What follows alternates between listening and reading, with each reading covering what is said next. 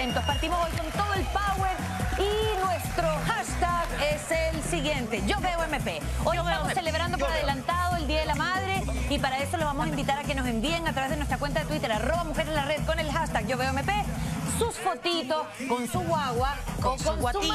madre. Queremos celebrar todas las versiones de madre que hay. Su tía, su abuela, todas las que son, serán o quieren ser madres, en el fondo. A todas las celebramos. Y además, si usted todavía no encuentra ese regalo perfecto para su mamá, ponga mucha atención a nuestro programa el día de hoy, porque van a estar los caca por ahí buscando datitos de dónde encontrar ese regalo precioso, hermoso, preciso, conciso para nuestras mamitas. ¿Y saben qué? También hoy estamos generosos, por lo tanto ellos van a estar regalándole a todas las mujeres para festejar el Día de las Madres que ya se acerca. El Grinch del amor, ¿qué tiene? Hoy Ay, estamos no. generosos no solamente en regalos, también estamos generosos en belleza, porque hoy día viene al estudio de Mujeres Primero, una de las chicas más queridas del reality Volverías con tu ex. Guapa, talentosa, se queda en nuestro país. Vamos a hablar de su Yo pasado, su presente y su futuro con Bien. Gema Collado. Ah, Esta qué es de Pascual Fernández. De hecho, Gema ayer empezó a escribir en sus redes sociales que iba a estar hoy día de 8 a 10 a Mujeres Primero y quedó la escoba con el pajarito azul. Están muchas entonces pendientes de ellas en este Así, así que en un ratito bueno. más llega Gema a hablar, a pelar a Pascual tal vez, a pescar, a mira, hay un tuit. A ver. Ay, por Dios. Mira, ¿qué dice? Mañana premiaremos las fotos más originales del Día de la Madre que envíen hoy viendo a arroba mujer en la red con Yo Veo MP. Y ahí nos llega, mira, panza más esa foto maravillosa de una guatita Linda. en gestación ahí, esa Oye, mamita. y con el. ¿Pueden creer que esa guatita tiene cinco, me- cinco meses y tanto, No. ya casi seis? Pero hasta yo tengo más, Sí, po. es que Bernardita es muy deportista, es muy apretadita. Una compañerita de trabajo primera guagua, así que que- sí, Bueno. un beso gigante para ella y para todas las mamitas que nos están viendo. Así, ¿Y les parece si vamos con noticias. noticias? Vamos Porque creo noticias. que justamente de una mamita vamos a hablar hoy, ¿o no, Mar- Michael Roldán? ¿Marco?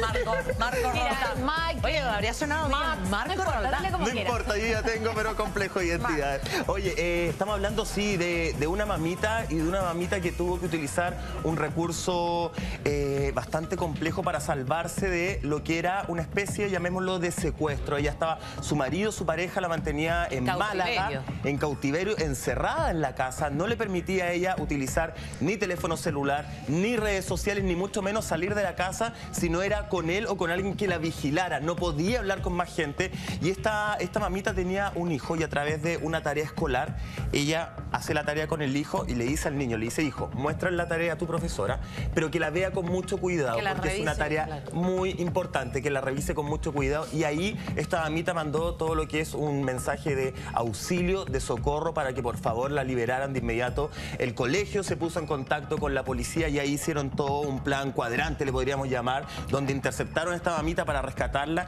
y además para eh, procesar y empezar a investigar la causa con su marido. Ella es uruguaya, pero vive en España. Ahora, qué lindo gesto el de ella, eh, el de escribirlo en el cuaderno de su hijo de 8 años y no decirle al niño, porque muchas veces uno trata en la, en la desesperación de buscar ayuda, decirle, hijo, mira, porque si lo haces involucras a tu hijo con respecto a su papá. Hay que decir que el- quien lo tenía secuestrado era el marido, que tiene 52 años, ambos son uruguayos, viven en Málaga y de verdad que llama la atención a mí como mamá, me, me- fue, ese es otro ejemplo de cómo las mamás de repente sacrificamos, exacto, cómo sacrificamos ciertas cosas que para que los hijos no se den cuenta. Claro. Porque perfectamente podía haber agarrado el niño de, de- de intermediario, porque tiene ocho años el chico. Pero no, ella decidió mejor escribirlo, explicarle bien a la profesora en el cuaderno para que le diera una mano, porque ya ¿Sabes tiene que haber estado la pobre. Esa, esa arista a mí no se me había ocurrido, pero la encuentro... No, no sé si la calificaría de un lindo gesto, fíjate. Es que Porque- mejor que para traspasarle la angustia a su hijo. Pero en el fondo estarías normalizando delante del hijo una situación que es absolutamente irregular. O sea, que el niño a los ocho años de edad, que cacha todo, Sí, que cacha todo duda. y que está ya a punto de la preadolescencia, entienda como normal una situación en la que la mamá solo puede hacer lo que le diga el papá, que la mamá no puede salir sola, que la mamá no puede hablar por teléfono, que la mamá no tiene acceso a las redes sociales, que la mamá no puede salir de la casa sin la vigilancia Que del marido, que él no ni- está. que quede con llave cuando el ni- cuando la mamá, cuando el hombre se va de la casa, que un niño de 8 años empiece a ver esta situación de, de crianza y que lo considere normal.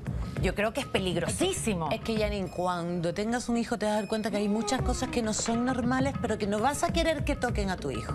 Vas a querer mantenerlo lo más alejado posible de ciertas situaciones, aunque después, yo me imagino que después con este cuadrante que tú dijiste que llegó la policía, que lo agarraron, que lo...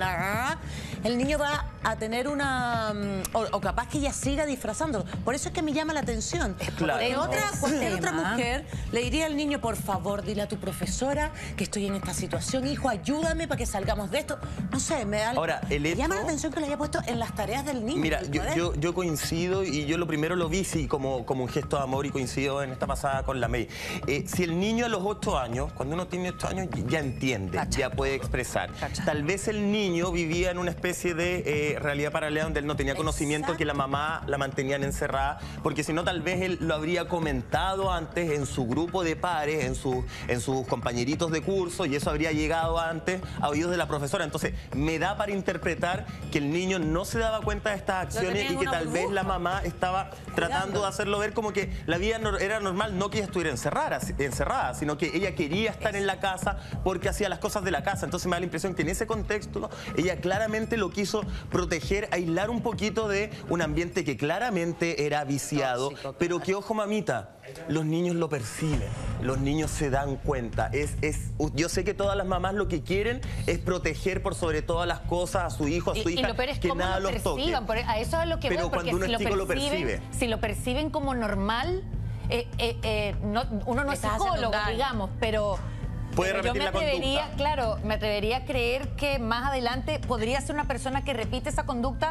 porque lo internalizas y lo aprendes cuando chico como algo normal. Es que me da la impresión que ella lo tiene que haber mantenido en una burbuja. Todo el rato, como decía Michael. Mantener en una burbuja. Recuerden que muchas veces los padres cometemos errores porque a lo largo del tiempo... Exacto, a lo largo del tiempo uno cuando ya es adulto y se sienta con la mamá, la mamá dice, mira hija, la verdad es que yo cometí este error contigo, no lo volvería a hacer, pero te juro que cuando lo hice lo estaba haciendo porque creía que era lo correcto, que era lo mejor, que era la forma de protegerte.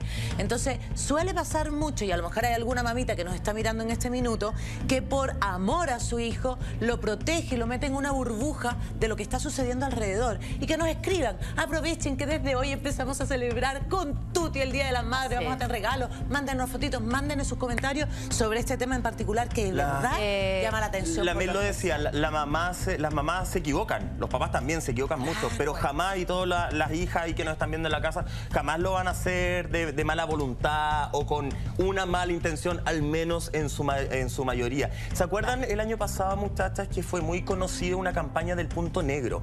No sé si la escucharon, a nivel mundial existía una campaña del punto negro que justamente inicia una mujer que fue víctima de violencia.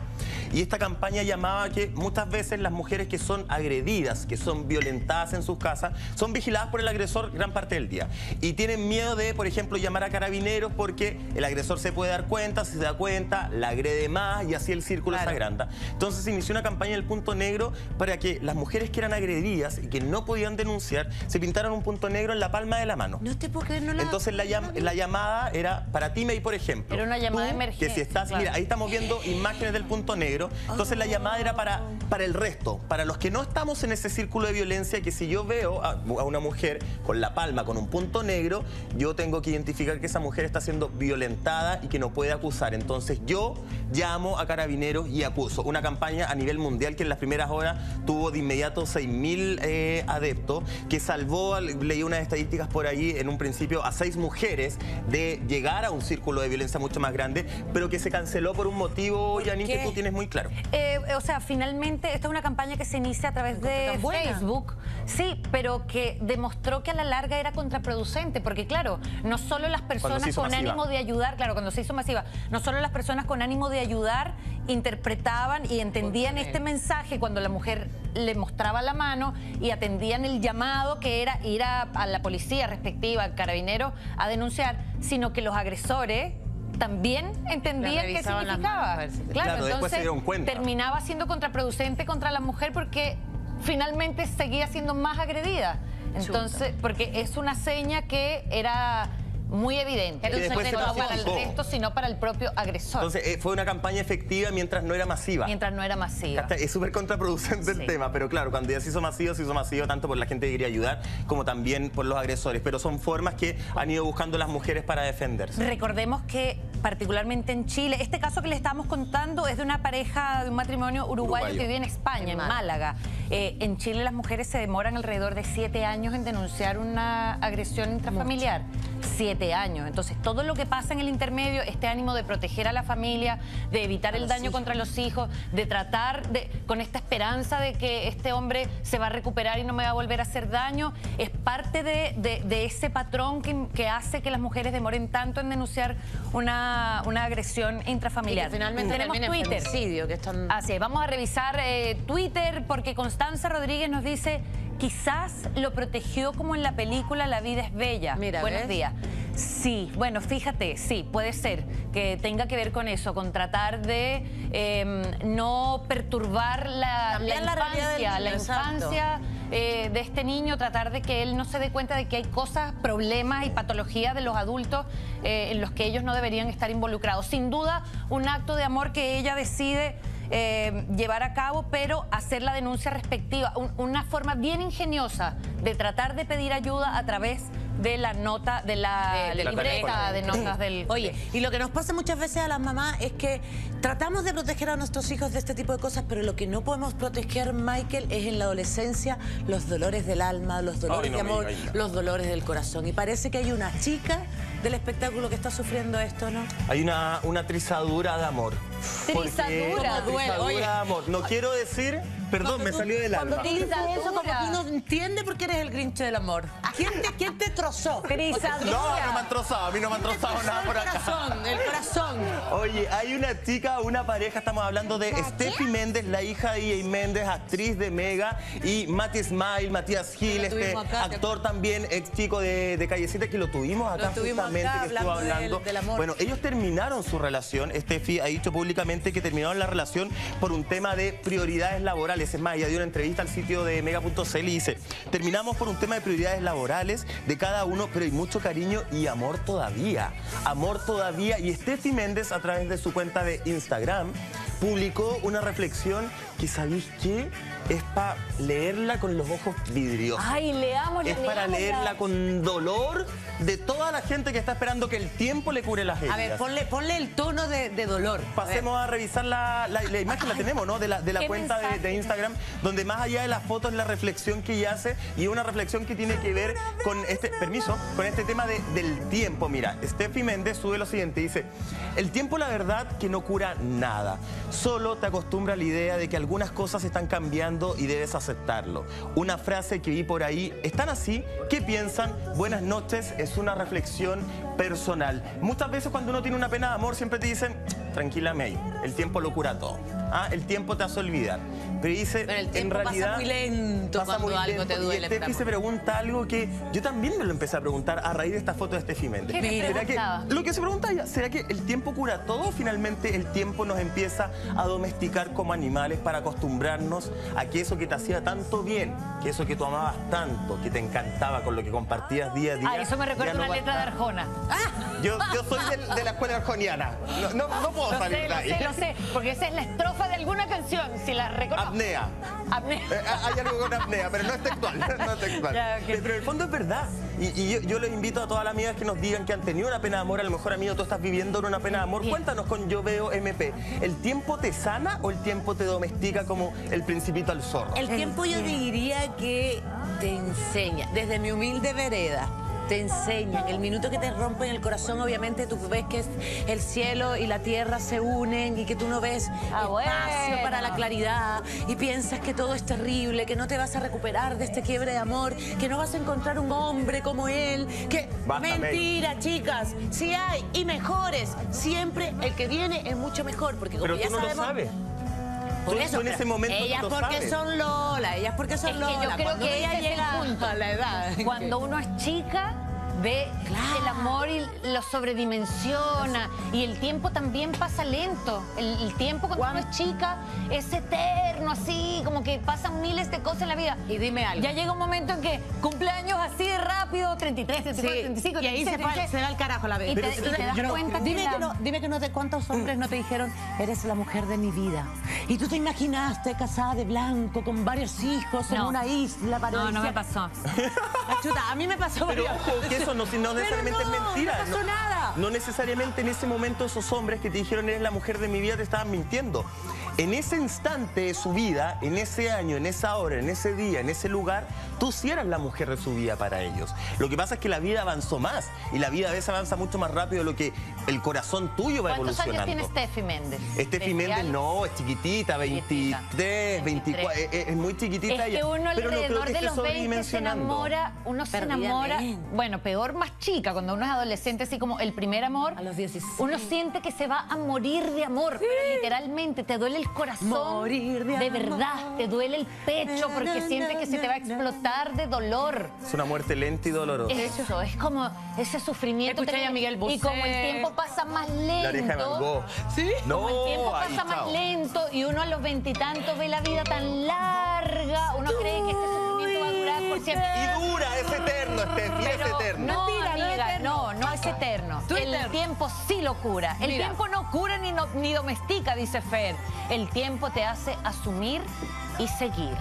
Superar. Yo creo que te superar. O aceptar. No, yo creo que te domestica. Porque tú, o- o- es que aceptar es, es básicamente lo mismo. Porque, a ver, Por eso yo prefiero cambiar el aceptar por superar. Yo tal vez no quiero, también puede ser que a lo mejor no me quiero olvidar, ni quiero superar, ni que el tiempo cure lo que yo viví, porque eso es parte de mí y lo quiero seguir Porque recordando y lo quiero seguir viviendo. Pero creo que el tiempo te enseña que ya no está, te puede gustar o no, y probablemente no te guste que ya no esté esa persona. Y peor cuando hay amor, que es el caso de Steffi Méndez, porque ella lo dice, aún hay cariño y aún hay amor. Y Mati Ismail subió a su cuenta de, de Instagram también una imagen contando que él se va a un viaje, no especificó a qué lugar. Y él dice, yo voy a volver por ti. Y sale una foto con ella y sale corazón. Entonces, ¿qué cosa más dolorosa, amiga, que cuando te separas, no, no por falta de amor, no por un gorreo, no porque hay un odio, no porque te tiraste el plato por la cabeza, te separas porque Por el- el, tiempo es el yugo del amor. Pero, o sea, que en ese caso... Ay, la. Está el hoy, filósofo de mujeres de. Me la dictó Cristian, el director. Oye, oye, lo que Oye. pasa es que en este caso que nos estás contando, ellos están dejando la puerta abierta. Y cuando tú dejas un amor inconcluso, Es peor. ese amor te persigue el resto de los tiempos.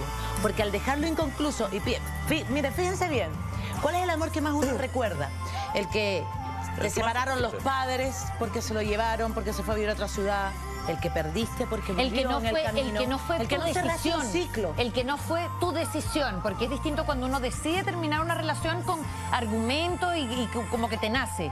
Cuando es el otro o la circunstancia el que termina con esa relación y uno queda enganchado, claro que, que el seguro. Cuando sufrimiento te quedas puede con durar. besos y abrazos que ya estaban destinados para él y no alcanzaste a dárselo. M- Mira qué injusta la vida, los amores más eternos son los que no se pueden cumplir. Los inconclusos. Los inconclusos, porque si tú estás ahí en relación tres años máximo del amor, Claro. pero cuando es inconcluso te persigue Sí, toda claro, la vida. Porque además uno tiende a idealizar esta cosa. Este- Exacto. Este, amor que si Tenemos por alguna Twitter. razón Vamos a ver qué nos no dicen nuestras amigas. Sí, Vea. señor. Y um, ah, Andre. Andre Andre Stambuk nos dice, lo difícil es aceptar que esa persona ya no está a tu lado y que debes emprender viajes solo. El tiempo no cura, pero sí enseña. ¿Viste, Michael Roldán? Oye, hagamos un llamado a todas las amigas y también los amigos que nos están viendo que con el gato yo veo MP nos cuentan cómo han superado alguna pena de amor. Tan lindo Si, el si finalmente dejan Ay, que me da una- el tiempo, dejan que el tiempo lo cure todo, que yo creo en, en serio, que el tiempo no nos cura. El tiempo es el principito y nosotros somos el zorro. Somos domesticados por el tiempo. Pero ¿cómo lo hacen? Llorando, gritando, pataleando, saliendo a carretear. Hay un tuit. Ahora, ¿qué- ¿a qué viaje iría Mati Smile? Cada canción que escuchas te recuerda a él, dice Karen García. es cierto, porque esa canción que te recuerda dónde se conocieron, el que tiempo que estuvieron No, juntos, lo que escuchaban en la casa, cuando iban en el auto de repente o en algún sitio La sonaba favorita. esa canción. La típica que decir, nuestra canción. Nuestra canción. Oh, es siempre tiene una canción de pareja. Ahora, yo me pregunto, él, ¿qué, qué tipo de viaje estará haciendo de pega? O, o qué tipo de viaje como para que hayan decidido separarse, porque es distinto que, bueno, voy a hacer un viaje, yo qué sé, lo que hacen ahora muchos jóvenes que se van a Australia, ponte tú, a trabajar como de temporero un tiempo, reúnen unos lucas y se vienen.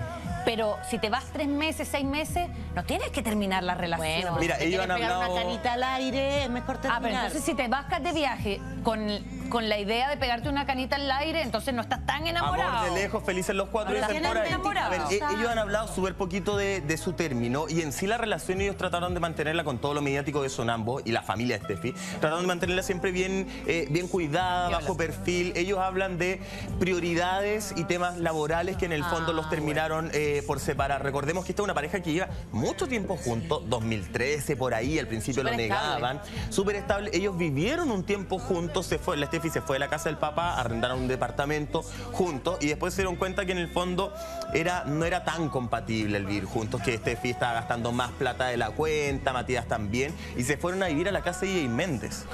Ambos. Ambos, allá Eso- eso es en, lo mejor. en el cerro para arriba. Volver y si a bien los padres. Mati Ismail eh, se llevaba súper bien con DJ Méndez, de hecho eran a veces más Amigos. amigos que, que suegro y, y yerno. El Mati Ismail por un tema laboral, ¿cachai? Se dio cuenta que allá era muy lejos el viaje para hacer todos los trabajos que él tenía que hacer acá, se levantaba mucho más temprano, qué sé yo, y finalmente no era su casa y él ahora estaba viviendo con amigos acá en Santiago. De ahí la relación se empezó a... Cada uno le dio prioridad al trabajo que también pasa Ahora- a cierta edad donde tú le das más prioridad a tu vida laboral versus el corazón. Claro, Claro, y- pero es que si es un tema de, de, de distancias dentro de la ciudad, imagínate qué complicado entonces que estable- solo podría establecer relación con un vecino. No, eso es lo que Con se ha un compañero de trabajo, Algo más debe claro. haber sin duda. Pero hay amor, que eso es lo más doloroso. Ambos lo que dicen. algo debe haber de fondo, que porque, hacen. porque esa- esas cosas, sobre todo cuando uno es más chico, se superan. Si hay energía, hay energía en ese cuerpo para pegarse el viaje, Pero mira, para yo ir a que tú visitar a la Duraron tres años y tanto, lo que dura el amor.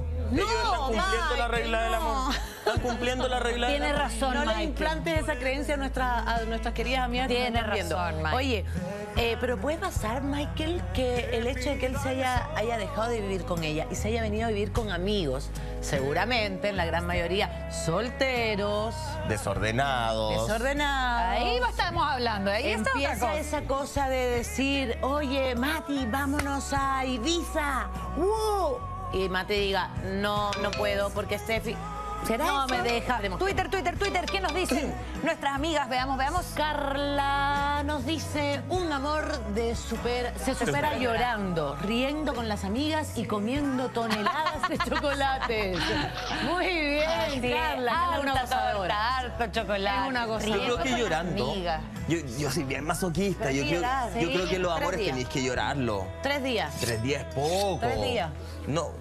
Conscientemente tres días y después ya te pones a llorar porque escuchas Miguel Bosé o la canción, no sé. Bueno, llora.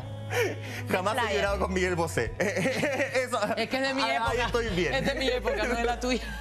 ¿Cuándo fue la última vez que lloraste, mi querido Michael? Hay una nota que presentar, me parece. No, ¿Hay, no, hay no. algo que presentar? Queremos, nada es tan importante como este respeto. No, no, yo soy bien. ¿Cuándo fue la última vez que Michael Roldán lloró con el corazón partido como Queremos- queremos- Alejandro Sanz? uh, años, Chiquilla, años. Ese corazón que late fuerte. Tiritas Años que pa' no este corazón partido. ¿Hay algo más o no? ¿Hay algo ¿Ah? más? Hay no, algo más. años, años que lloro yo. Años. De hecho, años. tienen los ojos hinchados. ya Oye, las redes sociales en este caso fue lo que utilizó, la herramienta que utilizó Steffi para lanzar esta pregunta Claro. al mundo, claro. Pero hay otros usos también bien interesantes que se le dan a las redes sociales y fíjate que a la hora de buscar pega o de postular a una pega, las redes sociales te pueden jugar a favor y en No. contra Sí. dependiendo de cuán abierto seas con tu vida a través de este tipo de herramientas eh, electrónicas. ¿Electrónicas? No. Sí. Tecnológicas. Y la electrónicas también. Revisemos la siguiente nota, presta atención. Las redes sociales nos divierten y nos comunican, pero también tienen un lado negativo. ¿Te has puesto a pensar que te podrían perjudicar a la hora de buscar trabajo? Eso fue lo que le pasó a Samantha Chirchella, una joven a la que le ofrecieron un empleo y cuando ya estaba lista para entrar, sus empleadores se arrepintieron porque en su Instagram mostraba abiertamente que es lesbiana. Pero, ¿Tan expuestos estamos? ¿Realmente revisarán nuestras redes sociales? Es 100% verdad. De hecho, yo en algún momento tuve que encontrar eh, gente durante un año y lo primero que hacía era eso. Así que hay que tener cuidado con lo que uno sube. Uno tiene una personalidad dentro de las redes sociales. Uno es otro individuo dentro de las redes sociales. Entonces depende también de lo que tú subas, es también lo que te identifica. Sí, completamente. Sí, te puede como subir o te puede perjudicar el tema de lo que publicas en las redes sociales, totalmente. Bueno, yo también cuando contrato gente, de repente me veo en Facebook y ahí uno sabe exactamente este, cómo son sus carretes, cómo es su vida, qué cosas les gusta. Por eso quise saber de qué se cuidan las personas a la hora de publicar en su Facebook o Instagram y si piensan que luego podría perjudicarles. El tipo de fiesta, el tipo de vida social que llevan. Fotos de uno quizás con poca ropa, no sé, con bikini, cosas así. Yo la verdad es que no, no suelo mucho hacer eso. De partida, información personal que no quiero que nadie se entere de ella. Eh, fotos que no me favorecen. Yo creo que algunas cosas como muy personales, entretención, familia. Pero en Chile también tenemos un caso de alto impacto. Pon atención. Disponible, muy amorosa asesora puertas afuera. Dominicana, 24 años. Tiene puesto implante anticonceptivo. Lleva más de un año en Chile. Trabajó en casa con dos niños y tiene muy buenas recomendaciones. Sí, escuchaste bien. Este curioso anuncio causó polémica en Facebook porque, por extraño que parezca, especificaba que una asesora de hogar contaba con implante anticonceptivo, lo que abre el debate. ¿Cuál es el límite de los requisitos para los empleadores?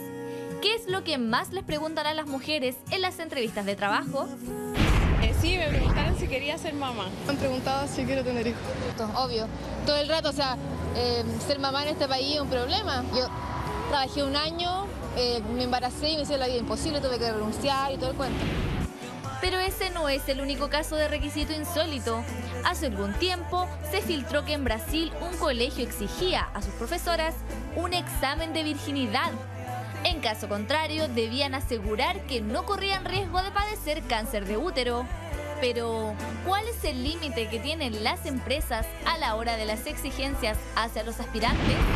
El límite está en que se pidan calificaciones, idoneidades o capacidades relativas a ese trabajo.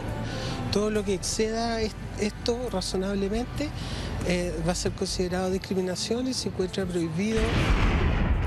Y ojo, que si sientes que uno de los requisitos se sale del lugar, hay leyes que te protegen las discriminaciones o elementos irrazonables eh, que se contengan en, diarios tienen, eh, son competencias de la dirección del trabajo. Ellos tienen, eh, pueden aplicar multas entre 1 y 60 unidades tributarias mensuales. En Mujeres Primero queremos saber tu experiencia. ¿Te han hecho algún requisito insólito para entrar a un trabajo?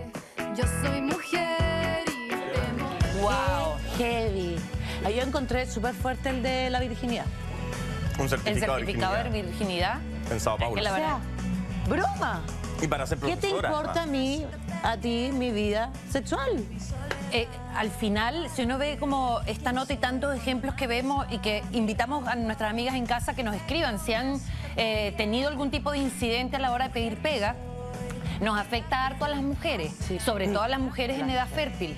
Porque claro, termina siendo un cacho increíblemente, aunque, tener aunque sea el motor de la sociedad, porque si no fuera por las mujeres fértiles no seguirían pariendo ni naciendo los, niños que van a sacar los países adelante, eh, termina siendo un cacho para el empleador. Entonces suele ocurrir, y, además es un momento bien incómodo porque uno claramente está en situación de desventaja cuando estás pidiendo pega. Tú eres el necesitado. Claro. la otra persona va a ser la que te va a proveer, proveer digo, de la pega que necesita. Entonces el, que está buscando empleo tiene que encantar, ojalá. Y, tiene que ser súper abierto a responder. Y muchas veces tendemos a mentir en esa situación. Porque si te preguntan como un condicionante, em, yo qué sé, si estás casada, si estás recién casada, cuántos hijos tienes o si quieres tener hijos, ta, ta, ta, y, tú, y uno percibe que eso puede ser una piedra de tranca, obvio que les vas a mentir al empleador. Le vas a decir, no, no, no está entre mis planes. Yo me quiero desarrollar y quiero hacer un posgrado para tener una carrera tremendamente profesional. Y tiene que ser, y es mentira porque si no, puede ser utilizado como una herramienta para que te. o como, para- como una Para no piedra, pasar la selección. Para que no pase la selección. Tenemos Twitter. Veamos, ¿qué nos dice? A ver, a ver. Eh, Palavicino nos dice, soy empleada pública y por mi trabajo nos revisan todo en nuestras redes sociales y por la ley de transparencia. Otro punto importante en nuestras notas, en, en nuestra nota, las redes sociales, cuando te juegan a favor y en contra. ¿Les ha pasado a ustedes? A mí no, pero fíjate que en la nota veíamos justamente el caso de Samantha Chi- Chirichella, Samantha Chirichella, que le habían ofrecido 45 eh, Millones de pesos chilenos al año por trabajar en una empresa. Estaba casi todo listo. Es como el equivalente, porque esto era en Estados Unidos, digamos. El equivalente, el claro, equivalente a lo que 45 mil- sería A pesos chilenos. en A pesos chilenos, claro. Oye, y el jefe entra a su Facebook, le pide, como tú me decías, le pide autorización, ella le da autorización y empieza a ver estas fotos que salían en la nota, donde claramente se nota que ella tiene una relación eh, homosexual Claro, es en el lesbiana. fondo. Y el flaco lo llama y le dijo, ¿sabe qué? Eh, mejor estamos reconsiderando, no venga. Claro, O sea, de, de hecho, claro, es- existía porque una persona en las fotos que eran como fotos artísticas, eh, de algún modo, y le preguntan a ella en una de las fotos, oye, ¿tú eres lesbiana? Y dice, sí. Soy lesbiana y ahora hay un proceso eh, legal que se está llevando a cabo donde ojalá se termine en buen puerto. Hay varios temas acá, la discriminación laboral. Lamentablemente es porque sí, porque no. Me acuerdo María Jesús Matei que contó públicamente que ella para un trabajo de garzona la habían discriminado por linda. ¿Te acordáis? Porque era demasiado linda para el puesto, entonces los clientes no le iban a tomar en serio.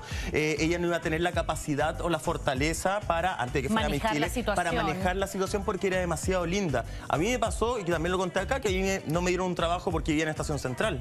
Y el trabajo era en el Oye, sector eso- alto de la capital. eso Entonces, también influye finalmente era- influye ¿ah? donde llegas por, por una cuestión súper tonta. Era porque yo podía llegar tarde y transpirado, Claro. porque vivía muy lejos. Transpirado. Mentira que te dijeron verdad eso, son, Michael. Son argumentos que te entregan ¿Qué que tipo de pega una- era esa, Michael? Era una pega de comunicación en un importante lugar. Pero ¿se acuerdan que antes tú tenías que poner tu foto en los currículums? En los currículum vitae. Ya, y después hubo una discusión para sacar la foto del currículum vitae justamente para que la selección no fuera de cómo te ves en el Claro, fondo. Y sea lo que realmente has hecho, lo que has estudiado, lo importante, lo que le Bueno, como nos decía el abogado en la nota, el criterio de selección tiene que ir vinculado a las capacidades que tengas para desempeñarte en el puesto de trabajo. El ejemplo que veíamos también eh, con respecto a esta chica lesbiana que... que, publica en, en su cuenta de Facebook personal Claro. fotos artísticas o fotos de fiesta con sus parejas, amigas, lo que sea. Que es su Eh, vida. que es su vida privada, claro, y que esto tenga incidencia en una pega que nada que ver. Era, ella era investigadora del departamento de leyes, o estaba aspirando a ser investigadora del departamento de leyes de una compañía de electricidad. Sí. O sea, ¿a quién le puede importar lo que ella haga cuando sale de su oficina y entra a su casa? Ahora, Y ahí les me una surge una pregunta. pregunta. Ah. Me surge una pregunta, espero que no sea la misma tuya. No, no, no Tenemos creo. que darle autorización a nuestros jefes para entrar a Bueno, nuestro. Facebook, donde está nuestra historia privada. El pajarito nos salvó. Cuéntenos por Twitter, señoritas, y vamos a ver qué nos dice Icaco Chinchilla. Nos dice, yo tengo mis cuentas con otro email. El email que doy a mi empleador no tiene cuentas sociales. ¡Qué inteligente! ¿Por Mira, qué le bien, tiene ¿eh? que dar el, tu, tu cuenta de No, pero, pero es que, a ver, también se genera una buena onda en la empresa. Y Pero con eso el cuando ya tiempo, tienes tiempo claro, te como pueden agregar. empleado. Ahora sí, díganme que no le ha corrido una gotita helada por la nuca cuando te llega solicitud de amistad de tu jefe. jefe. Y nos ta, ta, ta, tan, ¿qué hago? Ay, yo ¿Aceptar o me hago el tonto? Ya, pero ¿Aceptar ¿sabes o me lo que hago el puede tonto? Revisar fotos primero, revisar fotos, eliminar, eliminar, eliminar. Ya, pero, pero yo le eliminar. hago una pregunta a ustedes. Ajá. Y solo con el ánimo de debatir y de meter un pelito en la sopa. Si ustedes tienen su empresa, Claro. ya ustedes son las empleadoras. Ajá. Y llegan aspirantes, ¿cierto? Y se ponen a revisar el Facebook de tres aspirantes. Y uno de esos aspirantes publica fotos carreteando con la botella, eh, eh, videos que Pásame se la ve. botella. Ah, soy sol. Qué antigua la canción, pero muy buena. No, pero muy buena. Lo tendrías en la lista de tus contratados si él publica fotos carreteando de miércoles a domingo? Daría para pensar, Daría fíjate, para pensar. porque las redes sociales hay que analizarlas con mucho cuidado cuando uno, si uno es empleador y si no tiene la capacidad tendrá que contratar a alguien que lo haga, porque hay que... Hay expertos. Puede, claro, hay expertos en redes sociales. No, es probable que usted en su cuenta de Facebook tenga puras fotos de fiestas, de amigos, de sus momentos de, de entretención, pero resulta que subes una foto en enero, después subes una foto en agosto y después subes una foto en diciembre. Cuando ves la página, todas son de carrete, Claro, pero no quiere decir que estás todos los días de la vida Claro. carreteando. Entonces hay expertos que analizan el tipo de conductas que, que hay detrás, digamos, de las publicaciones en las redes sociales. Así, así que tenga mucho cuidado a quién acepta o qué sube a sus redes sociales. Pero queridas amigas, yo las quiero llevar a otro lugar porque este es el mes de la madre. Y nosotras, si bien ya empezamos con todo a celebrarlo, queremos tener un mes extenso para celebrarlas a ustedes, las mamitas. ¿Y qué hicimos? Fuimos a conocer historias de aquellas madres luchadoras, de aquellas que no se conocen mucho. Y fuimos así como llegamos a donde nuestra querida tía Yoli. Bernardito Serdio fue para allá, la entrevistó y acá viene la más linda historia de mamá de nuestra tía Yoli. Un besito para ella. Que nos vaya bien. Que nos vaya bien.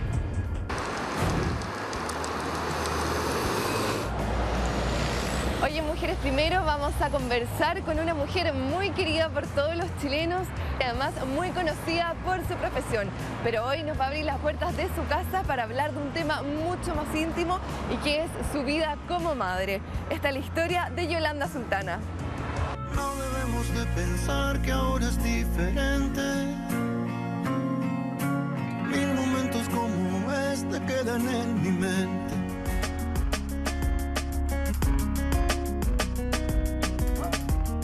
Pero yo nací un día 8 de agosto de 1939. La empleada de la casa murió y yo nací.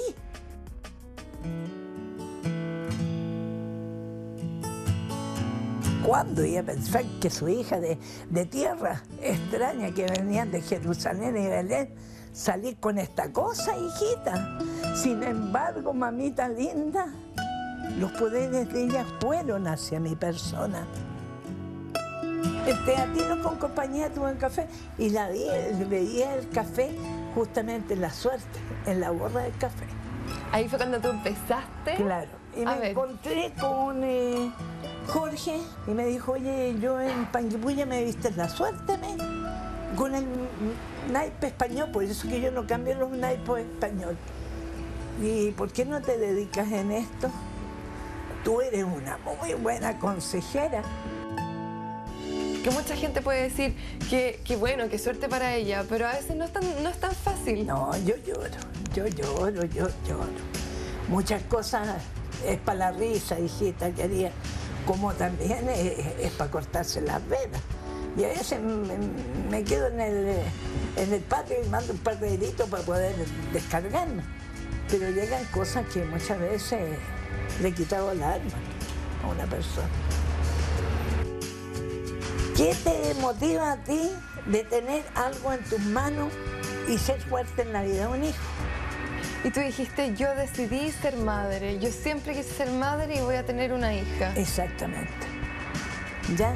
Entonces yo para poder luchar de tener una cama, un living, un comedor, la cocina, el baño, qué sé yo, buenas ropitas, hay que tener, luchar por tener a alguien en la vida. En ese tiempo no veía la discografía yo sabía que era mujer.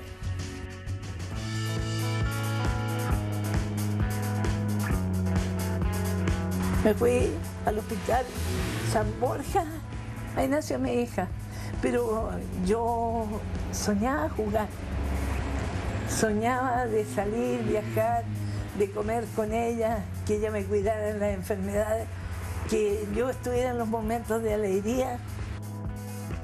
¿Y cómo se tomó ella todo esto de quién era su mamá? que le da rabia. A veces no le gusta y a veces se siente contenta.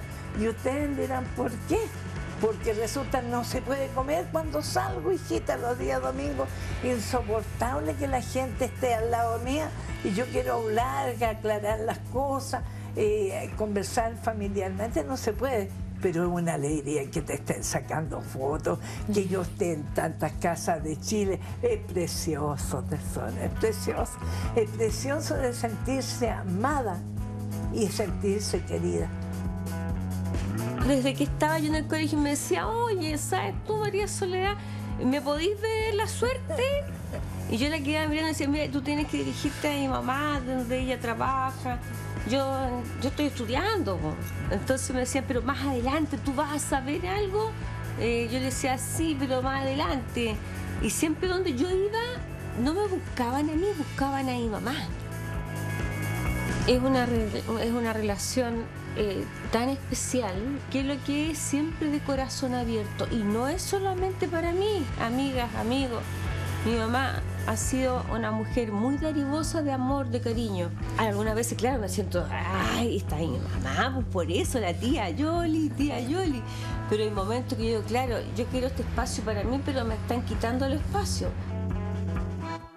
Valorícense a sus madres, porque muchas veces con su delantal lo han lavado, muchas veces cosiendo a máquina para mantenerlos, darle la educación. Y hijos que se olvidan de las madres cuando ya tienen un título. Yo tengo a mi hija que se llama María Soledad. Y en estos momentos quiero decir que la riqueza más grande que me ha dado Dios ha sido mi hija. Y el día que ella no esté, no voy a estar yo. Los caminos de la vida son muy difíciles de andarlos, difícil de caminarlos y no encuentro la salida. Un aplauso. Estamos viendo y conociendo ese lado La materno de, de la tía Yoli que no conocíamos porque claro, todos los días leemos el diario La Cuarta, su columna, su horóscopo, pero mm, verla así tan emocionada, uno también No. como que le da Y cosita. qué potente, qué potente mensaje el que nos da al final. Valoricen a sus madres, chiquillos, es cierto. No hay que acordarse solamente para el Día de la Madre, pero es una excelente oportunidad para aquellos que están peleados, que están distanciados, que están alejados, se acerquen, porque el Día de la Madre todo es permitido. Aunque estuvieras muy enojado, es permitido que llegues con un ramo de flores y digas perdón. Y esa palabra es tan poderosa a la hora de acercar, así que por favor, de verdad es tan importante para no sentir ese vacío cuando se nos va. Qué ¿verdad? amorosa la tía Potente Yoli y qué qué- tierna, qué, qué dulce que es. es potente además ser hija de la tía Yoli. Lo decía Para. María Soledad. Claro, y, y lo decían ahí en la nota, en el fondo. Sí, es pues. como cuando quieres estar tranquilo con tu mamá, comer tranquilo, almorzar tranquilo, no, llegan las fotos también. María Soledad es la que filtra un poquito, como mamá, cálmate, no puedes hacer todo, porque la tía Yoli de verdad que tiene toda la disposición del mundo para ayudar a todo el mundo. Si le pides una cuña a tal hora, ella va amorosa, a mí me ha tocado Y ir a hacer generosa, móviles. Michael, te que te atiende con cariño, segundo. te re- siempre te tiene comida rica. Eso, y además, Siempre algo que mamá, la gente no sabe en su casa, la tía Yoli es tan generosa, tan generosa, que aunque tú no la conozcas en persona, ella te manda regalitos, Sí, te manda detallitos, Navidad. te manda cositas, te manda... Es como esa mamita ricachona... Y esa generosidad que además traspasa a, a su hija, porque María Soledad decidió justamente decir, ¿sabéis qué? Mi vida es mi vida con mi mamá, entonces yo me voy a quedar acá en la casa. No necesito casarme, no necesito hacer una familia aparte porque mi mamá es mi familia. Y por eso que tía Yoli al final nos tira ese mensaje de, oye, mi hija es profesional, mi hija es acá, pero nunca me he olvidado. Eh, nunca está de más decir te amo a, a todas las mamitas desde acá. Además le mandamos un te amo a todas las mamitas del equipo de Mujeres Primero que, que hacemos este programa. Y a mi mamita también. Y la gente ya está re- reaccionando a través de las redes sociales. Vamos a con revisar. ¿Qué nos- Twitter. Y nos escribe Eva. Así es, dice, qué emocionante el amor de la tía Yoli por su hija. Así es, emocionante porque, pucha, se le quiebra la voz, se le sale ahí su lagrimita, se doblega un poco. Nos y, dejó a todos ahí medios Y uno tiritones. se queda tiritón, claro, los que tenemos... Los Me que está pegando el tienen- hormonal de ustedes. Sí, los que, voy a alejar. los que tienen la mamá cerca, los que tenemos las mamás lejos.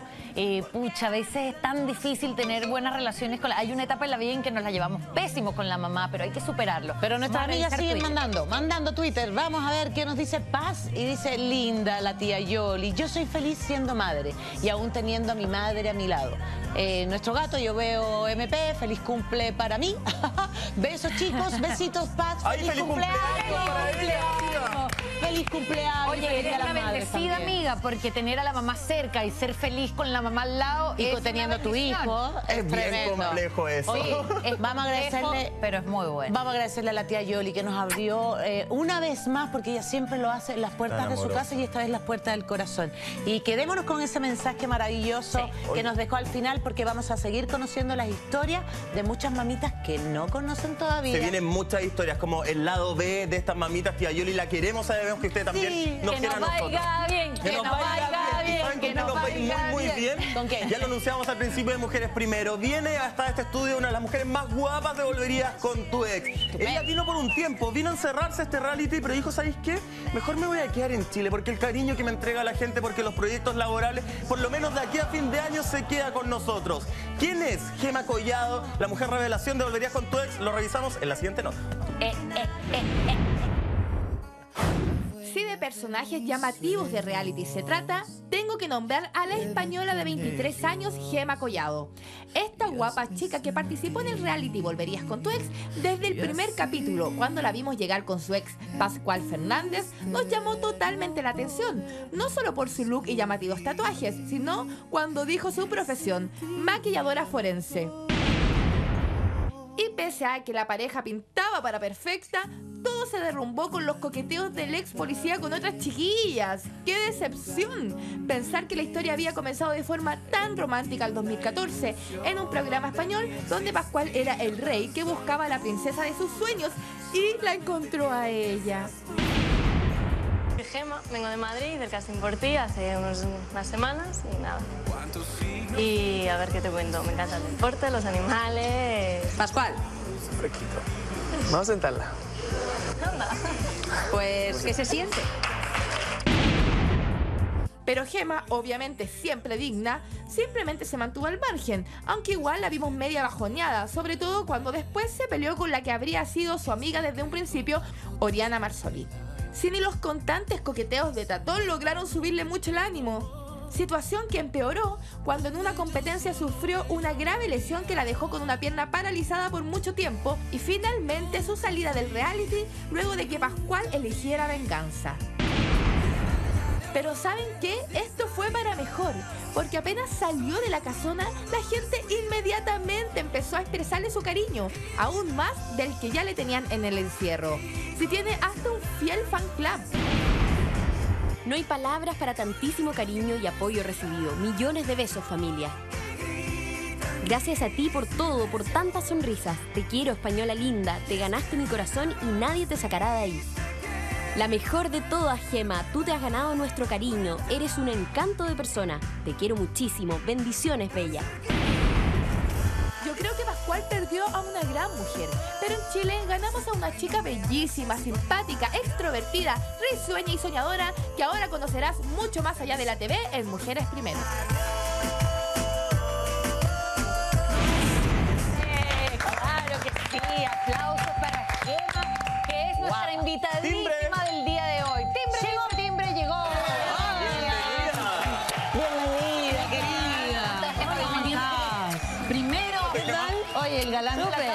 Súper. casa, Michael. Nos conocemos, José. Sí.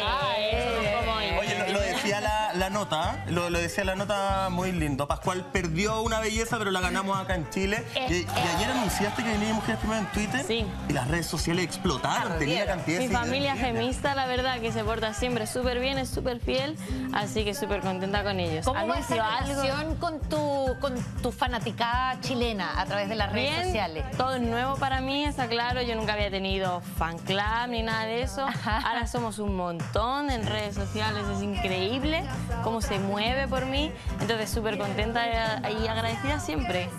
Oye, tan agradecida que incluso, Gema, tú hiciste no solamente un agradecimiento a tu familia gemística, Sí. sino que también a todo Chile, tatuándote Chile. Sí. La Ah, Gema se hizo un ¿se puede tatuaje de Chile La en el cuerpo. no se va a ver porque tengo la bota, pero... Pero, pero en la nota estaba la imagen de- del tatuaje, de hecho, con un avioncito que va como de España. El recorrido de España. Ay, qué Chile. ¿Por qué decidiste? Porque como dije en una entrevista que me hicieron, como que todo lo importante en mi vida me, me lo tatúo, me lo, me lo grabo. Entonces, como esto es una experiencia única para mí, nunca me imaginaba vivir todo esto, qué mejor manera de, de tatuármelo. Por eso decidí tatuarme. ¿Cuántos tatuajes tienes en, el- en el cuerpo? 28 creo que tengo. 28 Está tatuajes. diciendo en la competencia Pascual. Claro. Estaba allá ahí, pero... Estamos ahí en la competencia. No te vemos Mira, ahí en está, los brazos. ¿no? ese es el tatuaje de gema de donde está nuestro- el avión, el avioncito, de hecho, lo Está tapan que sé, el avioncito llega hasta Chile ahí con un, Con un punteo.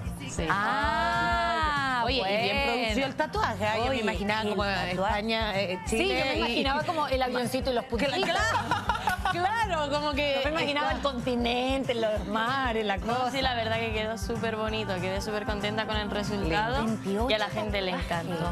Sí, 28 tatuajes. Todo así como de la cintura para abajo y el... Eh, Acá hay uno. Aquí no hay te uno, en los sí. brazos. Y en Ah, el ya. dedo hay otro. ¿Qué dices? Freedom. Sí. Freedom, libertad. Libertad. Ay, como Siempre. William Wallace.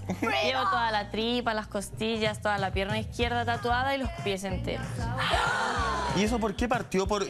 Voy a hacer la comparación. Tú eres, bueno, la amiga ya lo saben, ex de Pascual. Sí. ¿Él te metió al mundo del tatuaje o tú tenías idea? nada que ver. Yo empecé a tatuarme a los 15 años, sin permiso de mis papás.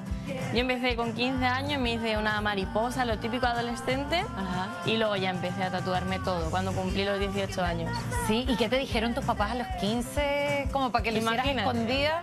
Sí, no, mis papás, la verdad, nunca les ha gustado, pero siempre me han respetado. Mis padres lo bueno que tienen es que me respetan todo lo que hago, me apoyan.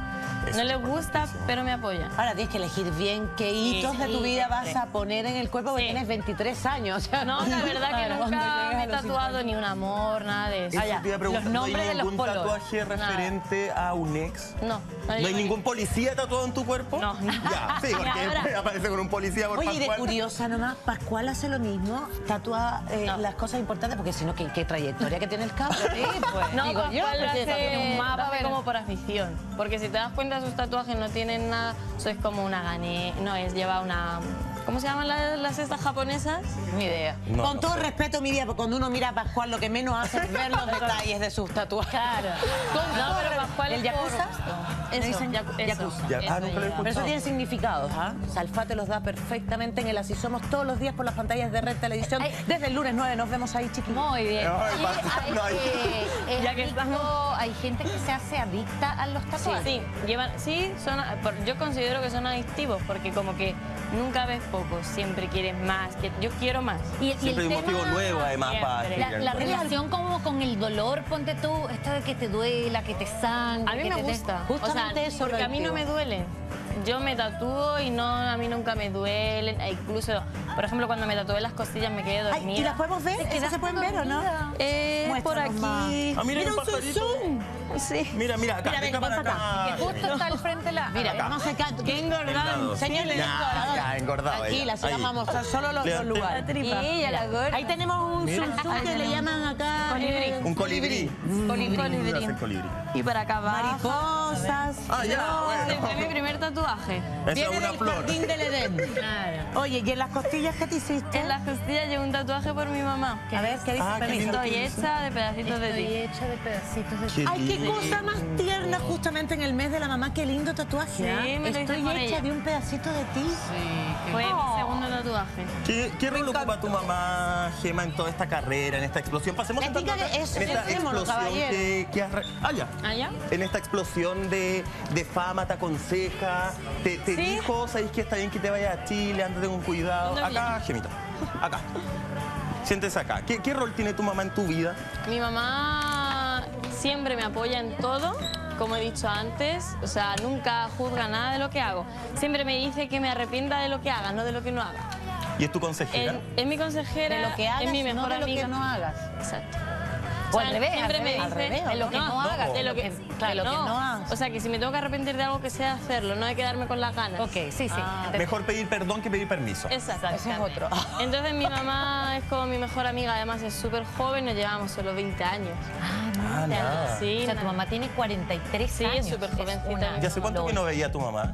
Pues desde que fui a España en Eso. febrero, a finales de febrero. Y, y te hace la, la echáis de menos. Sí, la he hecho mucho de menos. En España el Día de las Madres justamente ahora, este domingo. Fue el, el domingo pasado. Fue el domingo pasado. ¿Cómo fue ¿Cómo lo? Eso, ¿cómo lo Pues triste porque yo nunca he vivido un día de la mamá sin ella. O sea que ¿Es yo... tu primera vez? Sí, mi primera vez. Mi primera vez tan fuera, o sea, tan lejos de casa. Pero la verdad que hablo con ellos todos los días y me hace como más ameno. Es que hoy en día la tecnología Sí. nos permite eso y mucho más, ¿o ¿no, May? Y, y si bien Gema no está, tu mamá no la puedes ver desde el mes de febrero aproximadamente, ella está contigo. Quiero invitarte a ver este video. Eh, bueno, hola Gemma. Eh, quería mm, decirte que aunque el Día de la Madre no esté junto a ti, quiero que sepas que no estamos juntas de cuerpo, pero como siempre te he dicho, estamos juntas de, de espíritu y alma. Y nada, decirte que te quiero mucho, que te echo mucho de menos, que los días se me hacen años sin ti, que cada minuto que pasa me acuerdo más de ti, que tengo muchas ganas de verte, de darte abrazos, besos y hacer todas esas cosas que hacemos siempre que estamos juntas. Sobre todo reírnos y divertirnos. Y nada, que sepas que, mm, que ya queda menos, que está ya el reloj con la cuenta atrás, que te voy a ver en breve y que espero que, aunque aquí ya el Día de la Madre pasó y sabes que nos echamos mucho de menos, que no me eches mucho de menos el Día de la Madre, ¿vale? Que sabes que yo soy tu madre siempre, no solo el Día de la Madre. Y que te quiero muchísimo, solo puedo decir eso, que te quiero, que te quiero y que estoy súper orgullosa de ti. Y, y nada, y que siempre estaré aquí para lo que quieras. Te quiero infinito. Besos. No, pero ¿cómo me haces eso con lo sensible que yo soy? No. Qué lindo. La he hecho un montón de menos. Bueno, y a mí también, porque como que soy su niña, siempre estamos juntas, pero la voy a ver muy pronto. Entonces, ay, también te emocioné. ¿Eres hija única? No, tengo un hermano, al que también he hecho mucho de menos, porque estamos súper... O sea, somos una familia muy unida. La verdad que he tenido mucha suerte en la vida y estamos todos muy unidos. Entonces, me considero muy afortunada. Qué lindo, Gema, escuchar que tu mamá lo dice y lo repite una y otra vez. Estoy orgullosa de ti. Ay, mi hermano. Te, te quiero mucho, Ese es tu te quiero, hermanito, estamos viendo mi fotos de hermano. Gema y su hermano. Y, y te dice, me siento orgullosa de ti, de, de lo que has hecho, de lo que estás haciendo, de cómo una niña, porque tú eres súper chica en edad, Sí. está enfrentando un país que no conocía, una carrera artística que no conocía mayormente y, y sola. La verdad que, o sea, para mí ha sido difícil el no verles a mis papás a diario. Yo, si no como con ellos, ceno con ellos, lo que sea. Pero los veo siempre, a mi hermano también. Entonces se ha, se ha hecho difícil, pero como que ya los sé llevar más o menos. ¿Te imaginas una vida fuera de tu casa? O sea, eh, que se prolongue esta experiencia de estar fuera de tu país o mm, irte a otro país después de Chile o, o tienes ganas de volver a tu casa? Tengo ganas de, no o sea, de volver a casa, no, más de verles. A mi familia, a mis perros, que son mi perro, mi Colin, es lo que yo más quiero. Es el tatuaje de la otra costilla. Ah, Nos faltó ver ese. Caramba. Y mm, no, pero si yo les veo, sé que esto lo puedo llevar. Pero es lo que me falta, el verles, el compartir con ellos. Porque yo con mi padre, por ejemplo, me llevo súper bien, es una relación súper buena, igual que con mi mamá. Y el verles, el que me gaste bromas, que me haga de rabiar, todo eso como que, que se echa de menos. El tocarlos, el abrazarlos. Sí, el, sí, porque estando con ellos como que no te das cuenta, pero el simple hecho de estar desayunando a su lado, aunque no hables con ellos, te falta. ¿Y existe algún momento en todo este tiempo que hayas estado separado de ellos que los han necesitado rabiar? Sí. Esa cosa de que estás con mucha pena, necesitas abrazar a alguien que te contenga. Sobre todo cuando mi experiencia en el reality me pasaba eso. Por ejemplo, cuando me lesioné, que yo no sabía nada de mi familia, no sabía nada de mi mamá, yo no sabía lo que se estaba viendo fuera. Como que mm, yo soy una persona que no sé por qué, de siempre como que necesito a alguien a mi lado que me diga, tú puedes, sigue. Una contención. Sí, exacto. Yo de siempre, desde que soy pequeñita, necesito eso. Y al no tenerlo, como que me faltaba mi familia, de decir, ¿por qué tengo que estar pasando esto si yo en mi casa me siento tan arropada, tan querida? Entonces me faltaban esos momentos. Oye, Gema, ¿y cómo era la relación de, de tu familia con Pascual Fernández? E- Con este Pascual. chico reality que, que nosotros hemos conocido parece que una cara de Pascual, porque tú en entrevista has dicho, Pascual no es como ustedes lo ven, Pascual es medio me- mentiroso, Pascual le gusta jugar con la gente. ¿Cómo es el Pascual verdadero? O sea, Pascual a mis padres como que les dijo que siempre me iba a cuidar en el reality, que éramos amigos ante todo. Entonces como que les vendí una buena cara de lo que era él y al fin y al cabo como que se vio que nada que ver. Porque mm, a mí... Te dejó yo- sola. Exacto, yo por ¿Por qué crees que le dijo eso a tus papás? No sé, porque a lo mejor mis padres me podían decir en algún momento, ten cuidado. Entonces, al decir eso, mis papás me apoyaron más todavía a vivir la experiencia. O sea, en el fondo él les dio una tranquilidad a tus papás para que ellos te dejaran venir Hombre, y, sí. y él hacer su juego también, porque él tenía Claro, que entrar claro. con una ex. Otra explicación no tiene, porque mis papás nunca me hubieran dicho no vayas, pero como que sí me hubieran avisado. convencer que Exacto. Por lo menos, me- pero me hubieran guiado. Pero de esta manera como que dijeron tienes un amigo que te apoya, que te va, ¿sabes?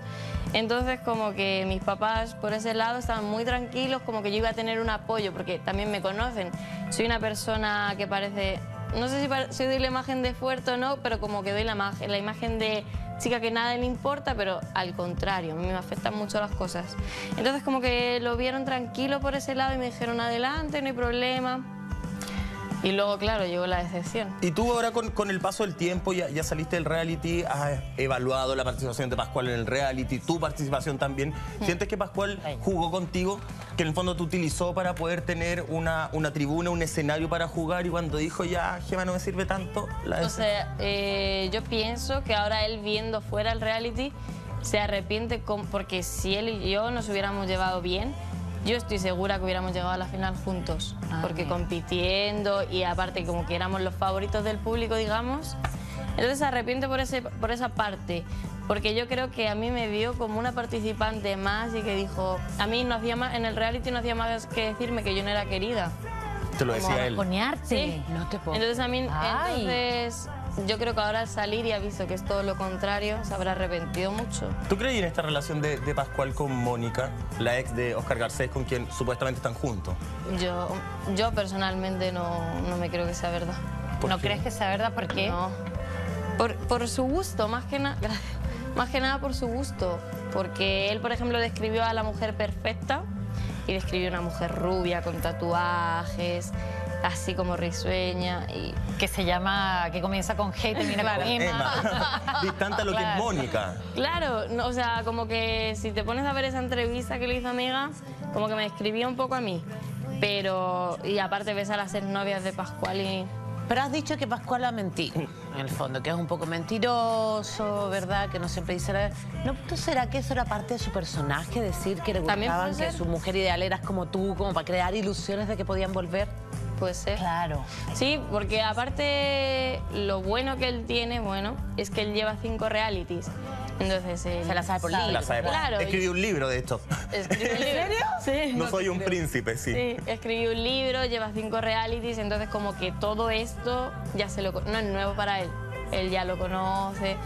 ¿Y Entonces, tú crees que manipula al público con, con- con sus estrategias de él, juego? él sabe muy bien lo que le gusta a la gente, lo que no. Pero ya te digo, pero porque lleva como una, o sea, lleva un camino muy largo ya de realities. Qué Gema, miedo la de- gente así, me da terror eso. Dentro de este, de este conocimiento del formato, ¿existe la opción, te lo pregunto, de que Pascual, porque a mí me contaron que Pascual antes de entrar habría revisado de algún modo los perfiles de ciertos participantes y en ese perfil él habría creído que Mónica era muy popular acá en Chile porque salía en muchas No. No me lo respondas, Ah, querida Gema, ¿es verdad o no? no ¿Cuál es la estrategia de Pascual? Después de una pequeña pausa comercial. No se vayan estas mujeres primero. Claro.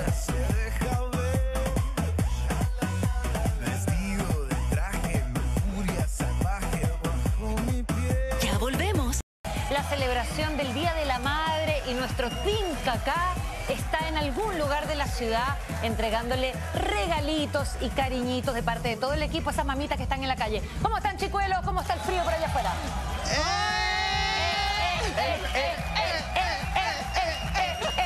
Ya estamos desordenando la mañana. Aquí estamos desordenando la feria que está en Maratón, del Estadio Nacional o atrás del Estadio Nacional, no sé.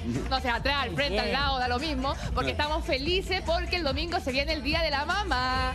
Se celebra el Día de la Madre. Y el primer regalo es para nuestra madre, para la mejor notera, para el mejor movilera, caca. Muchas felicidades. ¿eh? Yo no sabía que usted era mamá. Sí, porque le tengo dos cabros chicos. Dos cabritos chicos. Sí, le tengo dos ¿Cuántos años tiene? montonitos. Ocho y el otro va para cuatro. ¿Y cómo se portan los niños? Más o menos no más, así Más que les mando un mensaje que se porten bien de regalo de la mamá. Oye, Oye, creo pero que aquí está- estamos, eh. aquí estamos con más mamás desde, desde tempranito en la mañana, las mamás trabajadoras que están desde las 6 de la mañana aquí poniéndole Con nombre a la bastante pega. historia entretenida. ¿Cómo estamos? Ella es la Celiona Eli. Oiga, ¿su nombre? Delia. Delia Leighton. Delia, me imagino que usted es madre, ¿cierto? Sí, obvio. Bueno, entonces, ¿cuánto? Tres. ¡Tres hijos! Eh, tienen nietos mira, también. Una flor. ¿Tiene nietos también? Tan bisnieto. Mira, Oye, cuénteme, usted es una mamá esforzada, de sacrificio. ¿Cuánto tiempo trabajando aquí? Edad de ocho años trabajo. ¿De los ocho años? Ocho años trabajo, sí. Como Camilo Huerta. El Camilo, Hola. claro, sí. Oye, y aquí te vamos a dar un regalito porque ella es la primera que llegó. Yo la vi, que es una de las primeras que llegó aquí, así que se de merece un regalito para usted. terminar ¿En qué trabaja? Oiga, Aquí ella en la pescadería, estábamos acá en, en- en la, la pesca. Me está contando que a las 4 de la mañana ya se levanta, está en el terminal pesquero para tener todos sus productos frescos, ricos Pero- para la gente, para sus clientas. Pero ojo que no es que esté vendiendo la pesca. Ah, solamente ella vende pescadito y marisco. Oye, pero ella no trabaja sola. que dice que es muy fanática de la red. Ah, sí. Sí, pues, y nos quería mandar un mensaje. ¿Quiere saludar al guaguito? Yo lo hallaba. ¿Usted pareció al guaguito? Ah, se confundió con pensaba que yo era el guaguito. Camilo, mándale un besito y un abrazo y el mejor de los días de la madre Que para mande ella. un congrio, dice guau. Michael. Roldán le manda muchos besitos, muchos abrazos. Acá está tu fan número uno, guaguito. Eso. Correspóndaselo. Sí, es un amor. ¿Le gustan las copuchas de Michael? Sí, pues, sí me gusta. ¿Le gusta a él? Sí, me gusta Y también. usted me dijo que también tenía un algo tenía un des- Bonita. Cuénteme, cuénteme, cuénteme, cuéntela, cuéntemela. Él lo dice. Él lo dice. Él lo dice. ¿Qué dice de Michael? Que no tiene nada o que tiene mucho. Ah, ya, listo, dejémoslo ahí nomás. Vamos a buscar una mamá. El ¿Qué otra puesto de mamá al lado está la señora Eliana Segura. Eliana que vende las mejores sopaipillas de la feria, las empanaditas Muy queso, bien, muy bien. Y hasta ¿Qué no va a frita, Ger? Qué rica esa empanada. Por mis dos hijos, que Ah, tengo dos también por hijos. su hijo. Por Mi hija Lucero y. Nicolás. Y espero que me den un regalo este año mis hijos también salgan bien del colegio. Ah, qué ¿Qué quiere que le lindo. den su hijo? Aproveche la pantalla y dígale a su hijo el regalo que usted quiere. Que estudien, lo único que quiero es que estudien y que se porten bien. ¿Cómo se llama? Sí, Nicolás y Lucero Pérez. Ya, ya, Nicolás, para que el Benjamín Claro Velasco. aquí tiene su regalito.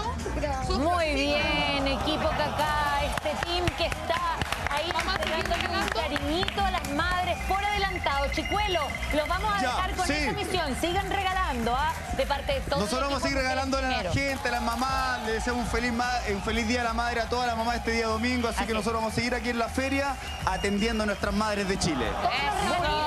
Todos los regalitos que lleguen ahí a buen puerto. Les mandamos un besito a nuestros Cacá. Y vamos a seguir con Gema. Y la pregunta Ah, planteada. sí, la pregunta que quedó pendiente. Una, una pregunta porque existía la información, Gemita, de que Pascual habría investigado los perfiles de ciertos participantes y a él como que en esa investigación alguien le habría dicho que Mónica es muy popular. ¿Hay algo de cierto en eso? Hombre, yo creo, nosotros desde España no sabíamos bien quién eran los que iban a entrar, los que no. Como que cuando nosotros, o sea, nosotros vinimos el, un- el 2 de enero, ahí no se sabía todavía nada. Y, Estaban todos con la caña. Claro. Pero dentro de la casa, Mónica sí que dijo como que la prensa no la dejaba salir de casa. Porque siempre era la- muy famosa. Sí. ¿Tan así?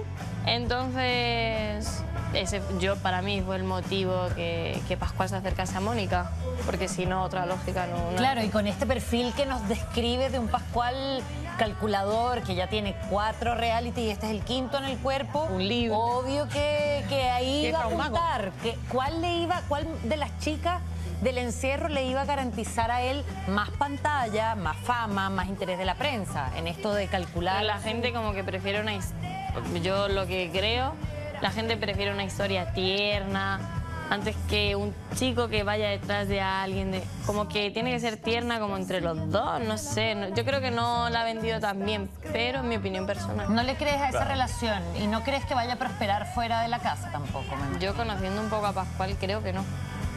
Bueno, y si Gema lo dice, eh, ella, Ella lo lo conoce, conoce, más que nosotros. Gemita, te queda en Chile de acá a fin de año. ¿Haciendo qué? ¿Hay algo que se pueda adelantar a las amigas?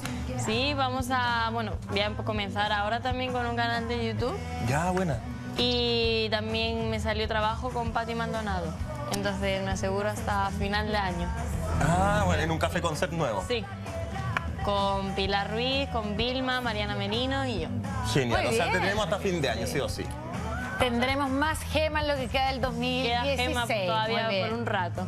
Genial. Oiga, bueno, le deseamos la mejor de la suerte, éxito y un aplauso para nuestra invitada por habernos acompañado el día de hoy. Como ya le decíamos, seguimos celebrando por adelantado el Día de la Madre. Ya conocimos un poco de la historia de la tía Yoli, pero ahora queremos compartir otra historia además que nos llega muy de cerca porque es una mamita muy especial para todo el equipo de Mujeres Primero. Estuvo desde el día uno aquí en este estudio. Mírenla.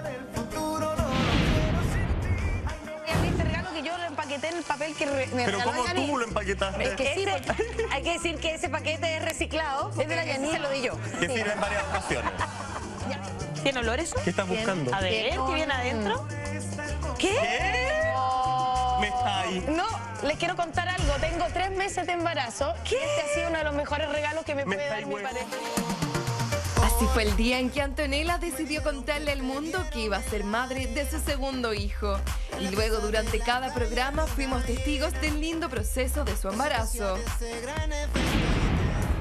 Hasta que llegó el esperado día. El 6 de febrero finalmente Antonella junto a su pareja recibieron a su hijo Manuel, un lindo niño de 4 kilos que llenó de amor a la familia Elousúa Ríos. Una maravillosa etapa que la actriz volvió a vivir a sus 41 años y quiso compartir a través de sus redes sociales. Momentos de alegría junto a su recién nacido, su pareja y su hijo mayor Bruno. Pero además ha aprovechado de revelar cada paso del proceso para recuperar su figura. Haciéndome mis masajitos de radiofrecuencia tripolar con la Valesca. Algo que no ha sido fácil y luego de algunos meses ha podido ver resultados gracias a varias sesiones de masajes y una alimentación sana. Una ardua preparación para volver a las pistas y seguir haciéndonos reír con momentos como estos.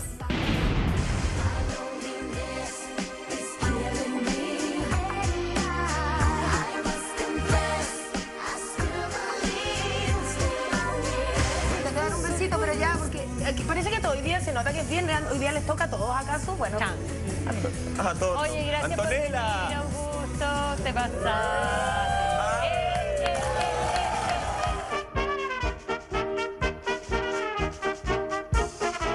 Ah, Desplazamiento de la, de la fibra. Y aquí, Oye, pero está bien, Antonella.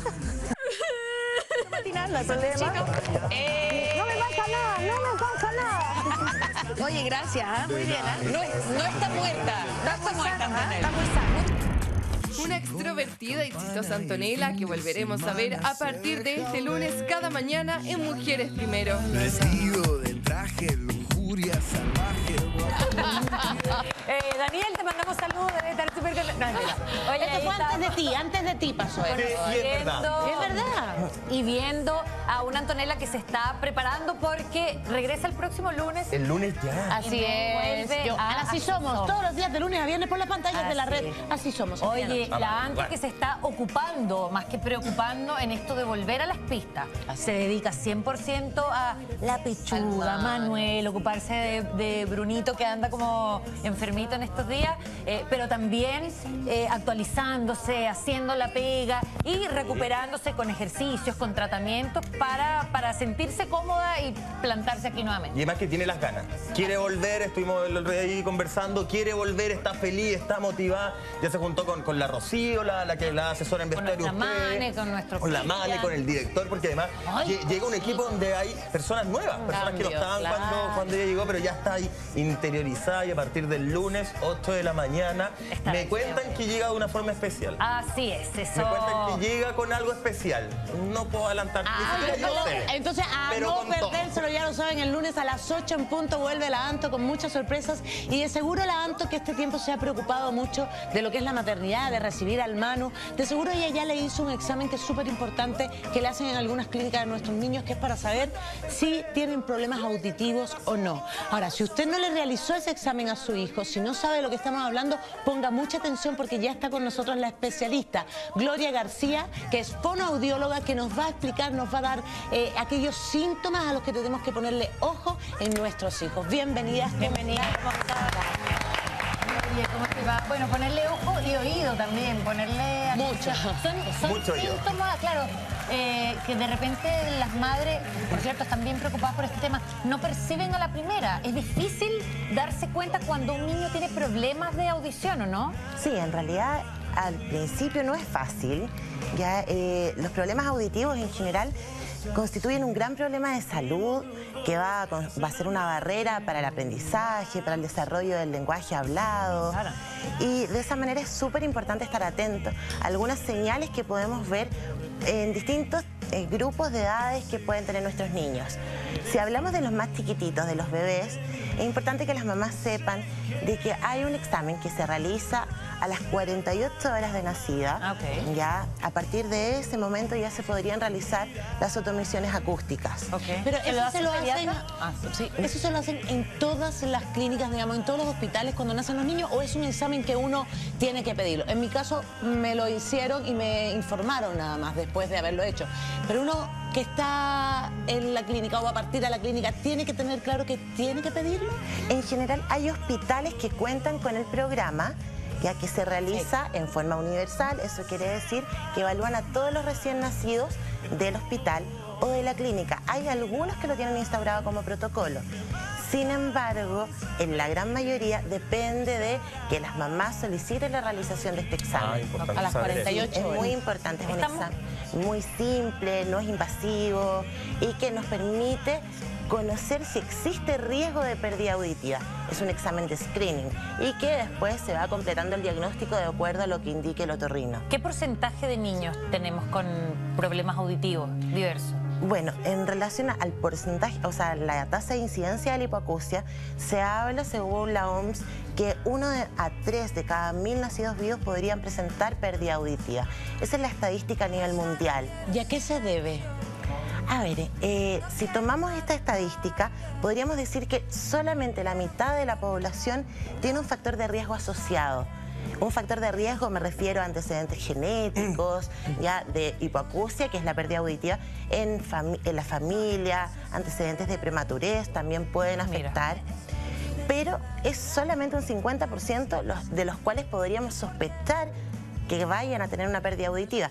El otro 50% de las personas que padecen hipoacusia no tienen ningún factor de riesgo asociado. Y por eso es importante que las mamás estén muy atentas porque hay una parte de estas pérdidas auditivas que se podrían diagnosticar al momento del nacimiento. Pero hay otras pérdidas auditivas que van dándose a lo largo de la vida, con Claro. el tiempo. Y ahí, quiero, sí, ahí quiero ir porque hay muchas mamis que se dan cuenta que, que su hijo tiene este padecimiento y pérdida de la audición en el colegio, ponte tú. Porque en el colegio es cuando la maestra le dice, que se dan cuenta que lo llaman y el niño no atiende. Al principio creen que puede ser eh, déficit atencional y después empiezan a indagar y eso le trae problemas también con los resultados académicos y con el rendimiento académico. Así mismo. ¿Pasa eso? ¿Se dan cuenta las mamitas en los colegios? Pasa y a eso es lo que yo los quiero invi- invitar a poner mucha atención, porque ahí vamos de nuevo a otro número, una cifra que no es menor, que alrededor de un 32% de la población en Chile refiere tener algún problema auditivo. Es alto, sí. O sea, ¿qué Yo tenemos tengo, que fijarnos en nuestros hijos para detectar algún problema auditivo? Bueno, algunas señales que deben estar muy preocupadas las mamás, pero también las profesoras, es por ejemplo en estos niños donde cuando los llamamos por el nombre no responden inmediatamente y necesitamos a veces tocar. Ya, no solo al ¿Qué nombre. edad estamos hablando aproximadamente? Pensemos en niños escolares sobre los 5 años. Ya, perfecto. Como para que las mamitas hagan el ejercicio. Sí, porque una cosa es el diagnóstico temprano del que hablábamos recién y ya pensando en la etapa escolar, podemos a través de la conducta darnos cuenta de algunas señales, como ¿Como por cuál? ejemplo Llamarle. el no responder al nombre consistentemente, aquellos niños que no siguen instrucciones o que se equivocan al momento de seguir las instrucciones. Pero, pero hay alguna señal particular porque de repente, claro, Manuel, Manuel, y Manuel está jugando con algo. ¿Cuándo darse, No cómo de darse cuenta, claro, que está distraído o que no te escucha? Ahí, mira, lo más importante es que si nos pasa eso, frente a una situación de ese estilo, lo que hay que hacer inmediatamente es consultar, porque no hay una señal evidente que nos pueda hacer, a través de la conducta, darnos cuenta si se trata de un problema de atención o de un problema de audición. Si tenemos un niño que no responde siempre cuando es llamado por el nombre, debiéramos descartar un problema auditivo. Todos los niños debieran, por lo menos una vez al año, realizar una consulta a otorrino. Oye, te hago una cosa. ¿Ah, sí? Sí. Por ejemplo, lo llamas por el Nadie nombre y no te pesca. otro. Pero si le haces, si tratas como de engañarlo, a ver si es que él te está manipulando a ti y decir, eh, Tengo un dulce. tengo- sí, salió la torta. Al- algo que uno diga, esto capaz y sí me O sí me asustándolo, por ejemplo. Está rico el así. Claro. Y si reacciona, que escucha. También puede ser, pero ahí de verdad yo creo que hay que hacer la consulta otorrino frente a cualquier sospecha, porque vamos, yo creo que no es necesario a lo mejor entrar ahora en el detalle, pero la audición no es igual para cada tipo de sonido. Entonces podemos tener niños que logran percibir muy bien la música o los sonidos del ambiente, pero que sus problemas están en la percepción a nivel de los sonidos del lenguaje. Entonces, lamentablemente hay muchas mamás que se quedan tranquilas porque logran atender la música, pero al momento de entender palabras es donde surgen los errores. Entonces, algo muy importante, todos los niños que tengan problemas de pronunciación o también al momento de escribir que cambien letras, ya, son niños que debieran ser evaluados. Perfecto. Hoy en día hay mucha tecnología que puede ayudar a solucionar estos problemas de audición, así que tenemos que aprovechar el momento en el que estamos. Y bueno, hay implantes cocleares en el caso de pérdidas auditivas profundas, audífonos para casos de moderadas y severas.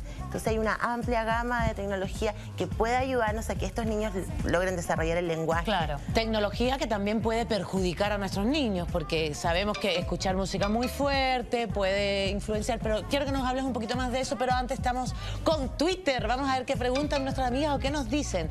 Eh, Marita. Tortas nos dice, y en, las y en los bebés, ¿cómo saber o qué poner atención? Menor de un año, es menor de un año. Bueno, después del examen que ya habías eh, contado Mencionado, que hay que claro. hacer, ¿Hay algún, alguna cosita que uno como mamá pueda cerciorarse? Bueno, en el caso de los bebés a través del juego, todo lo podemos ver a través del juego, de cómo un niño es capaz de darse cuenta de dónde proviene un sonido. Ok. Ya a través... cascabeles. Exactamente, a través de los cascabeles, el hablar con mayor distancia. Hay muchos estudios que comprueban que los bebés tienen mucha sensibilidad, que reaccionan de manera diferente frente a la voz de la madre. Los niños son capaces antes del año de darse cuenta cuándo es la mamá que les está hablando o otra persona. Cuando es el papá también. Exactamente. Niños que pueden calmar su conducta cuando la mamá les canta una canción. Entonces, cuando eso no va pasando, que tenemos niños que lloran a lo mejor de, de forma desregulada, que no se alivian cuando llega la mamá a cantar, a hablarles acerca del oído, son niños donde tenemos que ir también descartando. Oye, y la May lo preguntaba, esto es el tema de los audífonos. Porque se, está muy de moda, May, estos audífonos que te cubren toda la Claro. oreja. Y yo escucho, por ejemplo, mi hermano que tiene 16 años lo escucha y yo escucho la música de afuera. Entonces, eso también eh, te- a, lar- a largo plazo te produce un La efecto... televisión, por ejemplo, también. Cuéntanos un poquito de, de- de la tecnología. ¿Nos puede afectar? ¿Puede afectar a nuestros hijos? Puede afectar desde el punto de vista auditivo todo tipo de exposición a ruidos fuertes. Ya, cuando hablamos de ruidos fuertes, hablamos de una intensidad de 80 decibeles. A una madre gritona, por ejemplo. Una madre A gritona no va a afectar, no va a dañar la audición, va a dañar Lo otro tipo. claro. Exactamente. Los nervios Va a ir del niño. afectando a nivel emocional, a nivel del vínculo. ¿ya? Pero la exposición al ruido tiene que ser constante y fuerte. ¿Y muy cercano? Y muy cercano. sí. ¿Constante te refieres a una hora? Sí, permanecer un tiempo, por lo menos una hora, todo el día, de manera permanente a un ruido. Música fuerte. Eso también podría ser un también podría ser un, un- un- un síntoma en el fondo si tú ves que tu hijo está sube el volumen sube el volumen y recién se pone ahí como a escuchar ahí también podría ser una señal ¿o Esa ¿no? es una señal muy alertante. Ya cuando tenemos un niño que necesita más intensidad, es porque estamos frente a un niño con pérdida auditiva. Ok, pre- presta atención, eh, Gloria, Gloria, a lo siguiente, porque hay un tuit bien interesante. Fíjate que Angie dice, si mi hija me dice que, que, que cada vez o, ca- o a cada rato cuando le hablo, ¿es preocupante? O sea, ¿quiere decir que no escucha y está repreguntando a ella? Es preocupante, tenemos que poner atención. Es muy frecuente que los niños lleguen a esto, de, preguntar muchas veces qué. ¿Ah? Y ahí es donde se puede confundir con un déficit atencional. Entonces es bueno ahí que las mamás puedan devolver la pregunta. ¿Qué escuchaste? Ok. Porque eso no lo hace por maña. Porque a veces hay niños que están acostumbrados a no poner atención. Entonces, a ver, cuéntame, ¿qué escuchaste? y vamos a saber, vamos a tener de vuelta qué percibió el niño. Si el niño te dice nada, ojo, puede haber una pérdida auditiva. Y si son capaces de reconstituir lo que escucharon, es porque efectivamente tienen la capacidad de hacerlo. Y eso también nos ayuda a irlos entrenando, a tener mayor disposición a aprender, a aprender a través de la audición para el lenguaje. Claro, tal vez hay un tema como de comunicación que uno podría mejorar. Nosotros lo hacemos acá, como lo practicamos todos los días, porque a veces somos medio distraídos, dispersos. Solo Entonces, cuatro días a la semana. Claro, tal vez, tal vez una mamá, tal vez una mamá que da la instrucción de una vez. Eh, yo qué sé. Ayrton, anda, ordena tu cuarto, pon los juguetes encima no sé cuánto, mete la, la- la ropa que está en la cama. Ay, no entendí nada. Lo bombardea de información en lugar de, primero, llamar la atención del niño, llamarlo. ¿Cómo lo llamáis? Ayrton, Ayrton. escúchame. Eso es un cuento, después le cuento. Y cuando él responda, ahí darle la instrucción. Así es. me estoy viendo en el... Sí. Te está proyectando. Muy bien. Las instrucciones con los niños tienen que ser breves, tienen que ser cortas. Ahora, si nosotros queremos saber si nuestro hijo está escuchando o no, preocupémonos de que la instrucción sea breve, Clara. sea clara, con palabras simples, pero que sea por audición. Porque nos puede confundir muchas veces el que le estemos mostrando al niño lo que tiene que hacer. Pone el vaso Ah, sí. arriba de la mesa. Porque ahí... ¿Y eso porque lo, lo acostumbra a, ver y no a escuchar? Exacto, es una pista visual. Entonces también Ah, las mamás pueden jugar con probar qué pasa cuando le doy la instrucción solamente a través de la audición. Sería bueno que repitieras para que todas nuestras amigas en casa sepan eh, a partir de qué edad tenemos que llevar a nuestro hijo, ojalá, al fonoaudiólogo. O al otorrino. O al otorrino, claro, porque el otorrino también ve el tema auditivo. ¿Y mm, cada cuánto tiempo, por ejemplo? Porque yo me desayuné cuando dijiste que había que ir una vez al año. Bien. Bueno, el- los exámenes de audición, como les contaba, pueden ser realizados inmediatamente después del nacimiento, desde las 48 horas. Todos los niños en etapa preescolar, antes de los dos años, debieran tener un examen auditivo. Para hacer ese examen auditivo deben acudir con el otorrino, que es el médico especialista. No el pediatra. No el pediatra, el otorrino. El pediatra puede hacer el link. Te deriva, Claro, Exacto. deriva al Hace la especialista. derivación. Y luego el otorrino va a derivar a un audiólogo ya que va a realizar los exámenes. Nosotros hacemos los exámenes y en el caso necesario vamos a hacer la implementación de algún dispositivo de ayuda auditiva. Y eso una vez al año. Una vez al año debiéramos chequear de que todo se encuentre bien, porque no pensemos solo en la hipoacusia como algo, en la pérdida auditiva, que el niño tiene que ser necesariamente sordo, lo que conocemos como una persona que no puede escuchar. Hay pérdidas de audición que producen distintos grados ya de limitancia en el acceso a la información. Entonces, eso lo tenemos que ir chequeando. Por lo menos una vez al año en una visita a otorrino que derive el audiólogo. Qué bueno. ¿Ya? Porque hay tratamiento y ese tratamiento depende de lo que prescriba el médico. ¿Y puede ser otorrino. reversible esa condición de hipoacusia? ¿Se corrige? Depende de la patología, de la, de la patología que esté de base, el origen, la enfermedad. Hay enfermedades que son rápidamente solucionables a nivel médico, pero hay otras que no son reversibles y que van a necesitar de dispositivos. Mientras antes nos demos cuenta, mejor puede ser el resultado. Sí, una ¿no? detección temprana asegura que el niño va a poder desarrollar Mira qué lenguaje. dijo.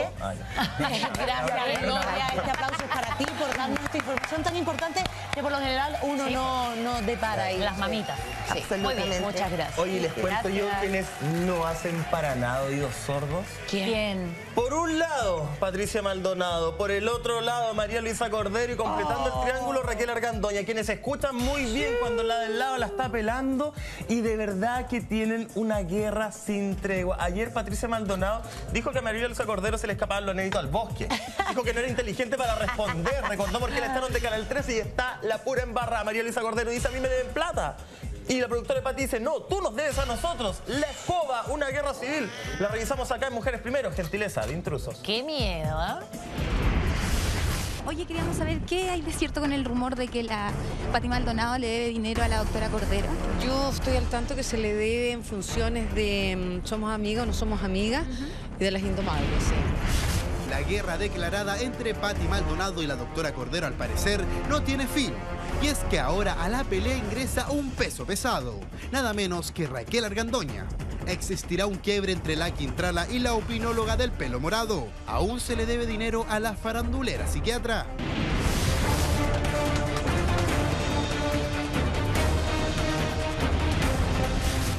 Polémica se originó luego que la doctora Cordero afirmara que Patricia Maldonado utiliza a sus amigas, a propósito de que no considerará a la raca en su nuevo café con ser y en el que sí participará Viviana Núñez, enemiga acérrima de la Quintrala. Corto un soberano perno, pero un perno que esté dolida conmigo. Hola doctora, ¿cómo hacemos un segundito? ¿Qué le parece que Pati Aldonado haya reemplazado a Raquel Candoña en, en su obra por Viviana Núñez? La doctora Cordero dejó de ser tema hace mucho rato para mí, pero mucho rato. ¿Cree que Pati la utilizó para llenarse los bolsillos? Eso dijo en recién una entrevista en Bienvenido, doctora. Pero esto no es todo, ya que la psiquiatra afirmó que aún se le debe dinero por funciones de somos o no somos amigas, lo cual molestó enormemente a la mal. Cuando me desafilié de las Indomables, la Patricia me cagó a mí poniendo al que me imitaba, a Jaja Calderón, para decir, toma vieja de mierda. Ahí tení. Eso hace la Patricia. La Patricia es una persona que cuando se molesta se venga, porque esto que le hizo la Raquel es feo. Mal que mal, Raquel Argandoña y la que habla contribuimos para que la Patricia se forrara en plata. Si la doctora Cordero tiene algún documento, algún contrato o alguno, alguna cosa que avale que yo le debo, eh, yo hago una conferencia de prensa y le pago. Mientras una dice que aún no le pagan todo, la otra afirma con uñas y dientes que todo está saldado. Es por esto que fuimos en búsqueda de la Quintrala, quien fue parte de este show y que tiene la película clara sobre la polémica. Oye, queríamos saber qué hay de cierto con el rumor de que la Pati Maldonado le debe dinero a la doctora Cordero. Yo estoy al tanto que se le debe en funciones de mm, somos amigas o no somos amigas y de las indomables, sí. Oye, ¿y cuál sería realmente el quiebre que hubo para- en la indomable entre ustedes? ¿Qué fue lo que de- detalló eso? ¿De las, tono? de las? O sea, sí, en el fondo el quiebre que tú tuviste en la relación con la Pati Maldonado. Yo no he tenido ningún quiebre con la pata, simplemente eh, cuando mm, esto en febrero tuvimos la última función de Cesante sin Lucas, eh, yo entré a Maldita Moda y obviamente no podía seguir porque trabajo los días sábados, entonces los café concert son los fines de semana. ¿Quién diría que Raquel respaldaría los dichos de la doctora Cordero? Le habrán quedado también debiendo a la madre de Kel. Oye, ¿y alguna vez tú tuviste problemas de dinero con la No, no, no, yo nunca he tenido problema de dinero. Yo en eso soy súper ordenada, eh, siempre a mí se me canceló, así que no. Yo personalmente nunca tuve problema. Pero la buena onda todo sigue bien. Sí, yo no tengo ningún problema con nadie. Un nuevo capítulo nos presenta las ex indomables y en esta oportunidad es Raquel Argandoña quien apaga el incendio con benzina.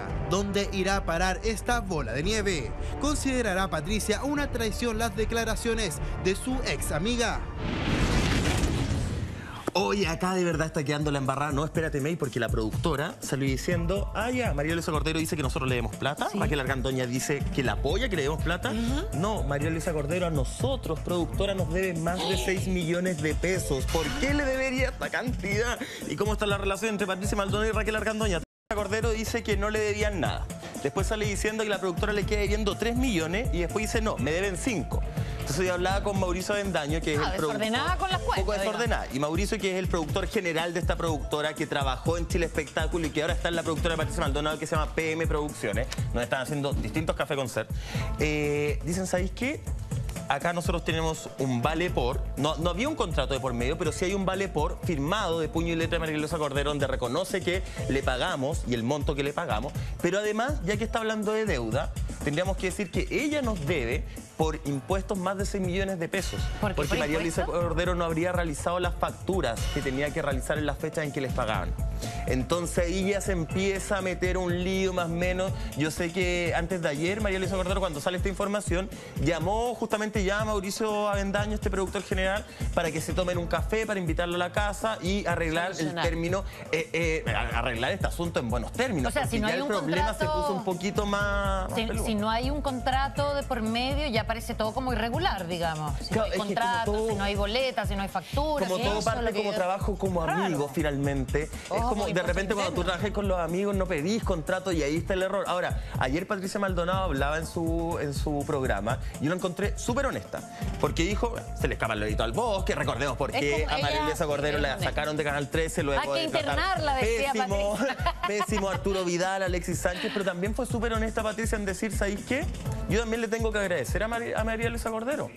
Porque ahora me están llamando mucho más que antes por este café con ser que estaba promocionando los matinales, porque la polémica, me gusta o no me guste, me sirve, es publicidad. Y eso me gusta una Patricia que es capaz de ser bien honesta. No, y se mandó una frase, porque estaba hablando de, de esto de que María Luisa Cordero está defendiendo a Raquel Argandoña y que Raquel Argandoña está defendiendo a María Luisa Cordero. ¿Por qué está pasando eso, Michael? La Pati se mandó ¿No son una súper frase. amigas ellas dos? Es que la. ¡Ay! Ahí que a La otra embarrada frase- porque Raquel habría dejado plantar unas fechas, pero Pati se mandó una frase que espera, no, de la no. verdad.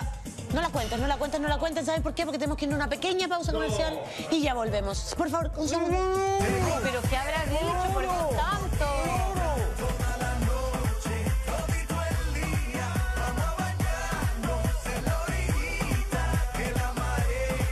Ya volvemos. Ay, qué terror. Está loco por Tuvo contarlo. que decir Patricia Maldonado para referirse a la doctora Cordero. ¿Qué fue lo que dijo? Dale, dale. ¿Puedo ahora? Ahora pues.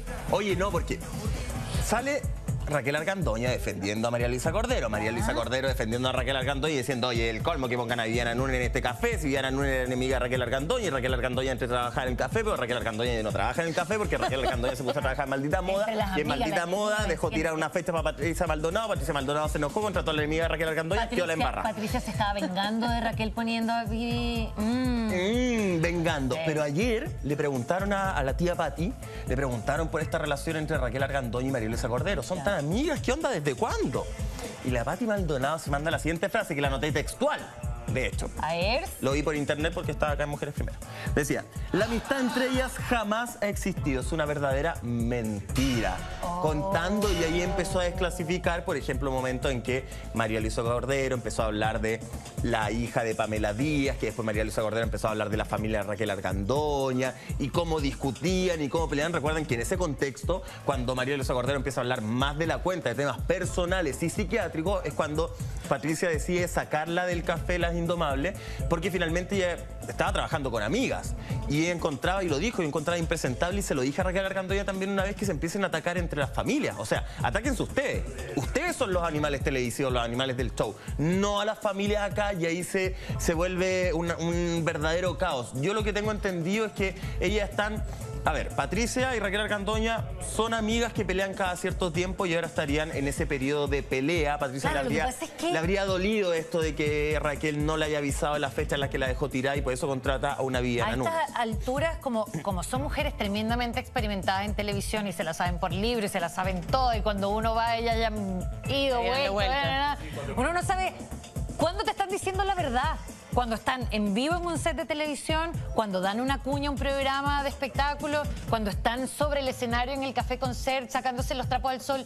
¿Cuándo dicen la verdad y cuándo están pasada- mintiéndose entre ellas y cuándo nos están mintiendo a nosotros? Yo en esta pasada les creo, les creo porque una Raquel Argandoña, a ver, una Raquel Argandoña no se va a prestar para hacer un tongo con Patti Maldonado levantando una Viviana Núñez. Sabemos que Raquel con Viviana se odian a muerto, o sea, hagamos retrofarándula. Recordemos que Viviana, en una época de un festival de viña hace muchos años, vestido metálico, en ese año vestido metálico de Raquel Argandoña, Viviana acusó a Raquel de que Raquel le quería eh, quitar a su, a su marido, al señor Serené. Ok, ok. Recordemos que partió ahí. Problemas de marido, Y complicado. Raquel Argandoña, y salió de hecho Gonzalo Cáceres hablando, decía, no, acá la Raquel nunca estuvo con él, nunca quiso nada, era él quien venía todas las mañanas a ofrecerle desayuno a Raquel Argandoña. Ok, Recordemos entonces que esa parte no se la crees, no le crees que, que No le que Raquel un se haya prestado para inflar a Viviana Núñez. Para nada, no creo que exista un tongo acá de, de inflar a Viviana Núñez. Y lo de la Tampoco- doctora, la, la- la amistad, la inamistad o enemistad o no amistad entre Raquel y la doctora Cordero, que lo acusa Patti Maldonado, ¿eso lo crees? Yo no creo que Patti se preste por un tongo. ¿Qué gana ella con que le digan que de plata? No, no, no. Tú, Cuando Patti dice ellas Ah, dos que Raquel no es amiga no con tienen Cordero. ningún tipo de amistad. ¿Eso se lo crees a Patti Yo en esta pasada le creo todo a Patricia Maldonado. Ah, está súper crédulo hoy, ¿eh? En esta pasada, Patricia Maldonado me Fue vende arena en el desierto y le compro la arena. No, y fue enfática y fue clara y fue precisa cuando dio su explicación y yo también le creí todo, fíjate. En- eh, eh, incluso cuando habló de, mm, de Viviana Núñez, Claro. que ella dijo, yo la llamé porque estábamos buscando una animadora, alguien que oficiara de animadora.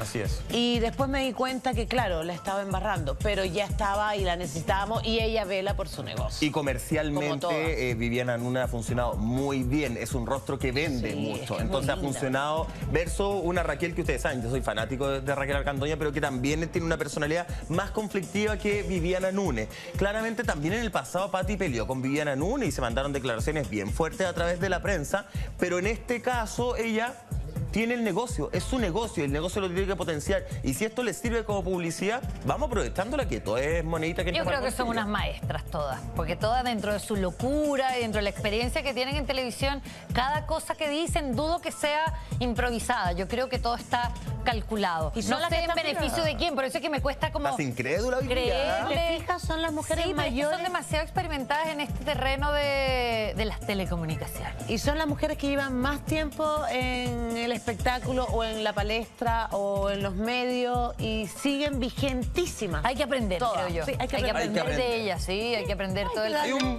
Tenemos Twitter, sí, señor. Tenemos Twitter así. A ver qué dicen nuestras queridas amigas. Y Eva Quillón dice, creo que es puro marketing, Michael, Ah. ¿viste?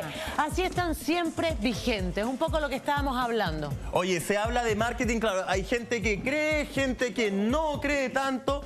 Vamos, vamos a seguir hablando de este tema. Divas de la televisión. A estas tres mujeres fuertes de la, de la televisión. ¿Sabes qué estaba pensando en el tweet que nos envió, que fuertes, nos envió ¿ah? la amiga y que hablaba de marketing?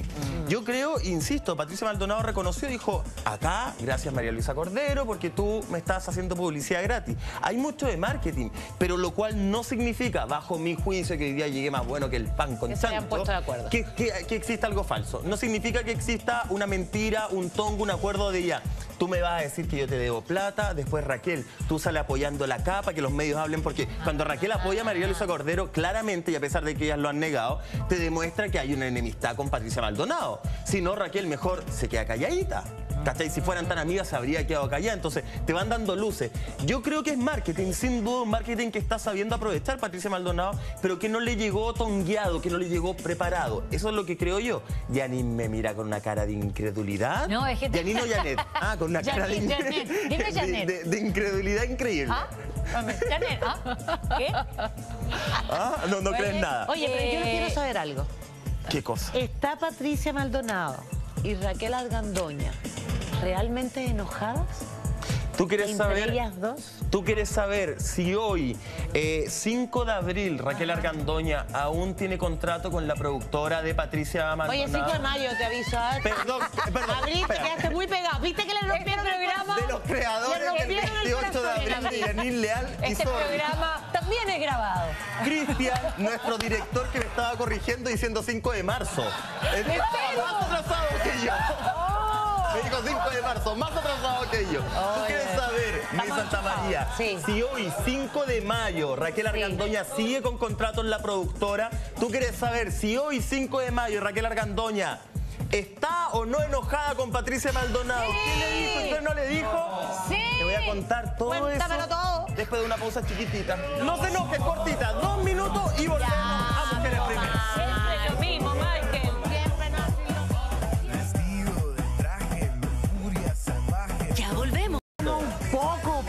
Tratamos de eso. sacárselo en los cortes comerciales, no hay forma que diga las cosas. Se lo una calla pregunta concreta y precisa. Si Raquel Argandoña y Patricia Maldonado están realmente enojadas. Te voy a dar antecedentes y en base a esos antecedentes quiero que tú misma empieces a armar la historia. Ay, Dios. Primero, hay que decir que Raquel Argandoña y Patricia Maldonado participaban de este Café Concert cesantes con Lucas o sin Lucas. Nunca aprendí el nombre. Hoy, a la fecha, Después de que salió de TVN. después de que salió de TVN justamente, hoy a la fecha, Patricia Maldonado no solamente contrató a ¿Qué Viviana fecha es Núñez, hoy? 5 de mayo del año 2016. Estamos en Mujeres Primero, no en Mentiras Verdaderas. 9.55. 5 de la mañana. En vivo y en directo. Ni en Eh, hoy Viviana Núñez no solamente fue contratada por la productora PM Producciones para hacer este nuevo café concert sobre los matinales, sobre este Despierta Chile que se llama o Levanta Chile, eh, sino que también fue contratada para reemplazar a Raquel Argandoña en Cesantes sin Lucas. Ah, está en las dos. Sí, Está claro. en las dos, por lo tanto pasa a ocupar el puesto de Raquel Argandoña. Raquel a los medios ha dicho, bueno, es súper lógico, yo no puedo estar porque los sábados estoy en Maldita Moda, que es un Claro. programa que la mayoría de las veces, no todas, va en vivo. Pero yo tengo los antecedentes que, que Raquel cuando empieza a negociar, cuando habría empezado a negociar con, con Maldita Moda, no le habría avisado a Patricia Maldonado. Entonces Patricia habría continuado vendiendo las fechas de Cesante sin Luca con Raquel Argandoña. Claro, siempre hay una época de negociación en la que todavía no lo tienes asegurado y no puedes y no hablar podía andar de los las energías de repente mejor uno calladito.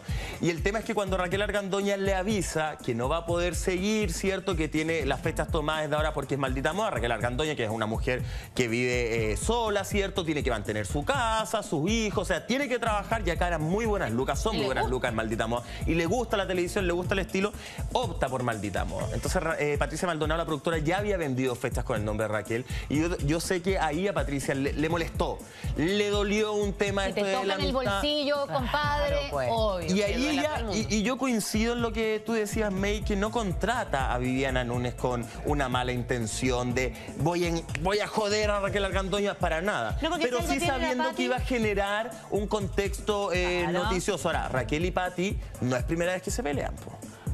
No, pues verdad. Y así- pero ¿cuándo fue? ¿Hace poco o hace mucho? No, fue hace, a ver, hace harto tiempo. Y fue ellas verdad. tenían un programa radial. ¿Te acuerdas? Somos estaban amigos. con un programa radial, estaban con un café, somos amigos, no somos amigos. Y también ahí se pelearon en ese momento por un tema de, de Lucrecia, si mal no recuerdo. Y bueno, y Patricia Maldonado, no, no, sé, no sé en qué quedó esa pelea, pero hace dos años, tres años aproximadamente, Patricia Maldonado en, en el matinal, en esta época cuando el hijo de Raquel se involucra con Matilde Bonacera, ¿se acuerdan que estuvo como todo Sí. bien polémico? Sí. Patricia Maldonado se mandó unas declaraciones que eran como, yo sé algo del hijo de Raquel que si lo cuento se caería este estudio. Fue, fue algo así más o menos, que dio para especular muchas cosas y eso también a Raquel en un momento le, le molestó por porque en el fondo estás poniendo en la palestra a tus hijos, hijos que es verdad, en algún momento Raquel, sobre todo cuando llega el Buenos Días a todos, ella los expone de alguna forma, eh, los bloques de Pero es la farándula madre. Pero los del matinal ella y es la se madre. hacían en Exacto, base a la vida de Raquel Argandoña, pero Raquel un día, y lo entendió, porque lo habló con sus dos hijos y entendió, dijo, ¿sabéis qué? Yo nunca más voy a hablar de mis hijos en televisión y Raquel Argandoña hasta el día de hoy lo cumple, y lo cumple a cabalidad, y no solamente Pero delante de cámara, que sino que también fuera de tercera cámara. persona, Una tercera persona haga un comentario claramente malintencionado y mala leche para, porque sabes que va a dar para, para que la prensa especule. Y nunca eso puede venir con buena no, pero intención. además uno, uno puede hablar de la... pu- Puede saber que tu hermana es una casquivana y decirle a tu hermana que es una casquivana, pero cuando viene un extraño a decirle casquivana a tu hermana, claro.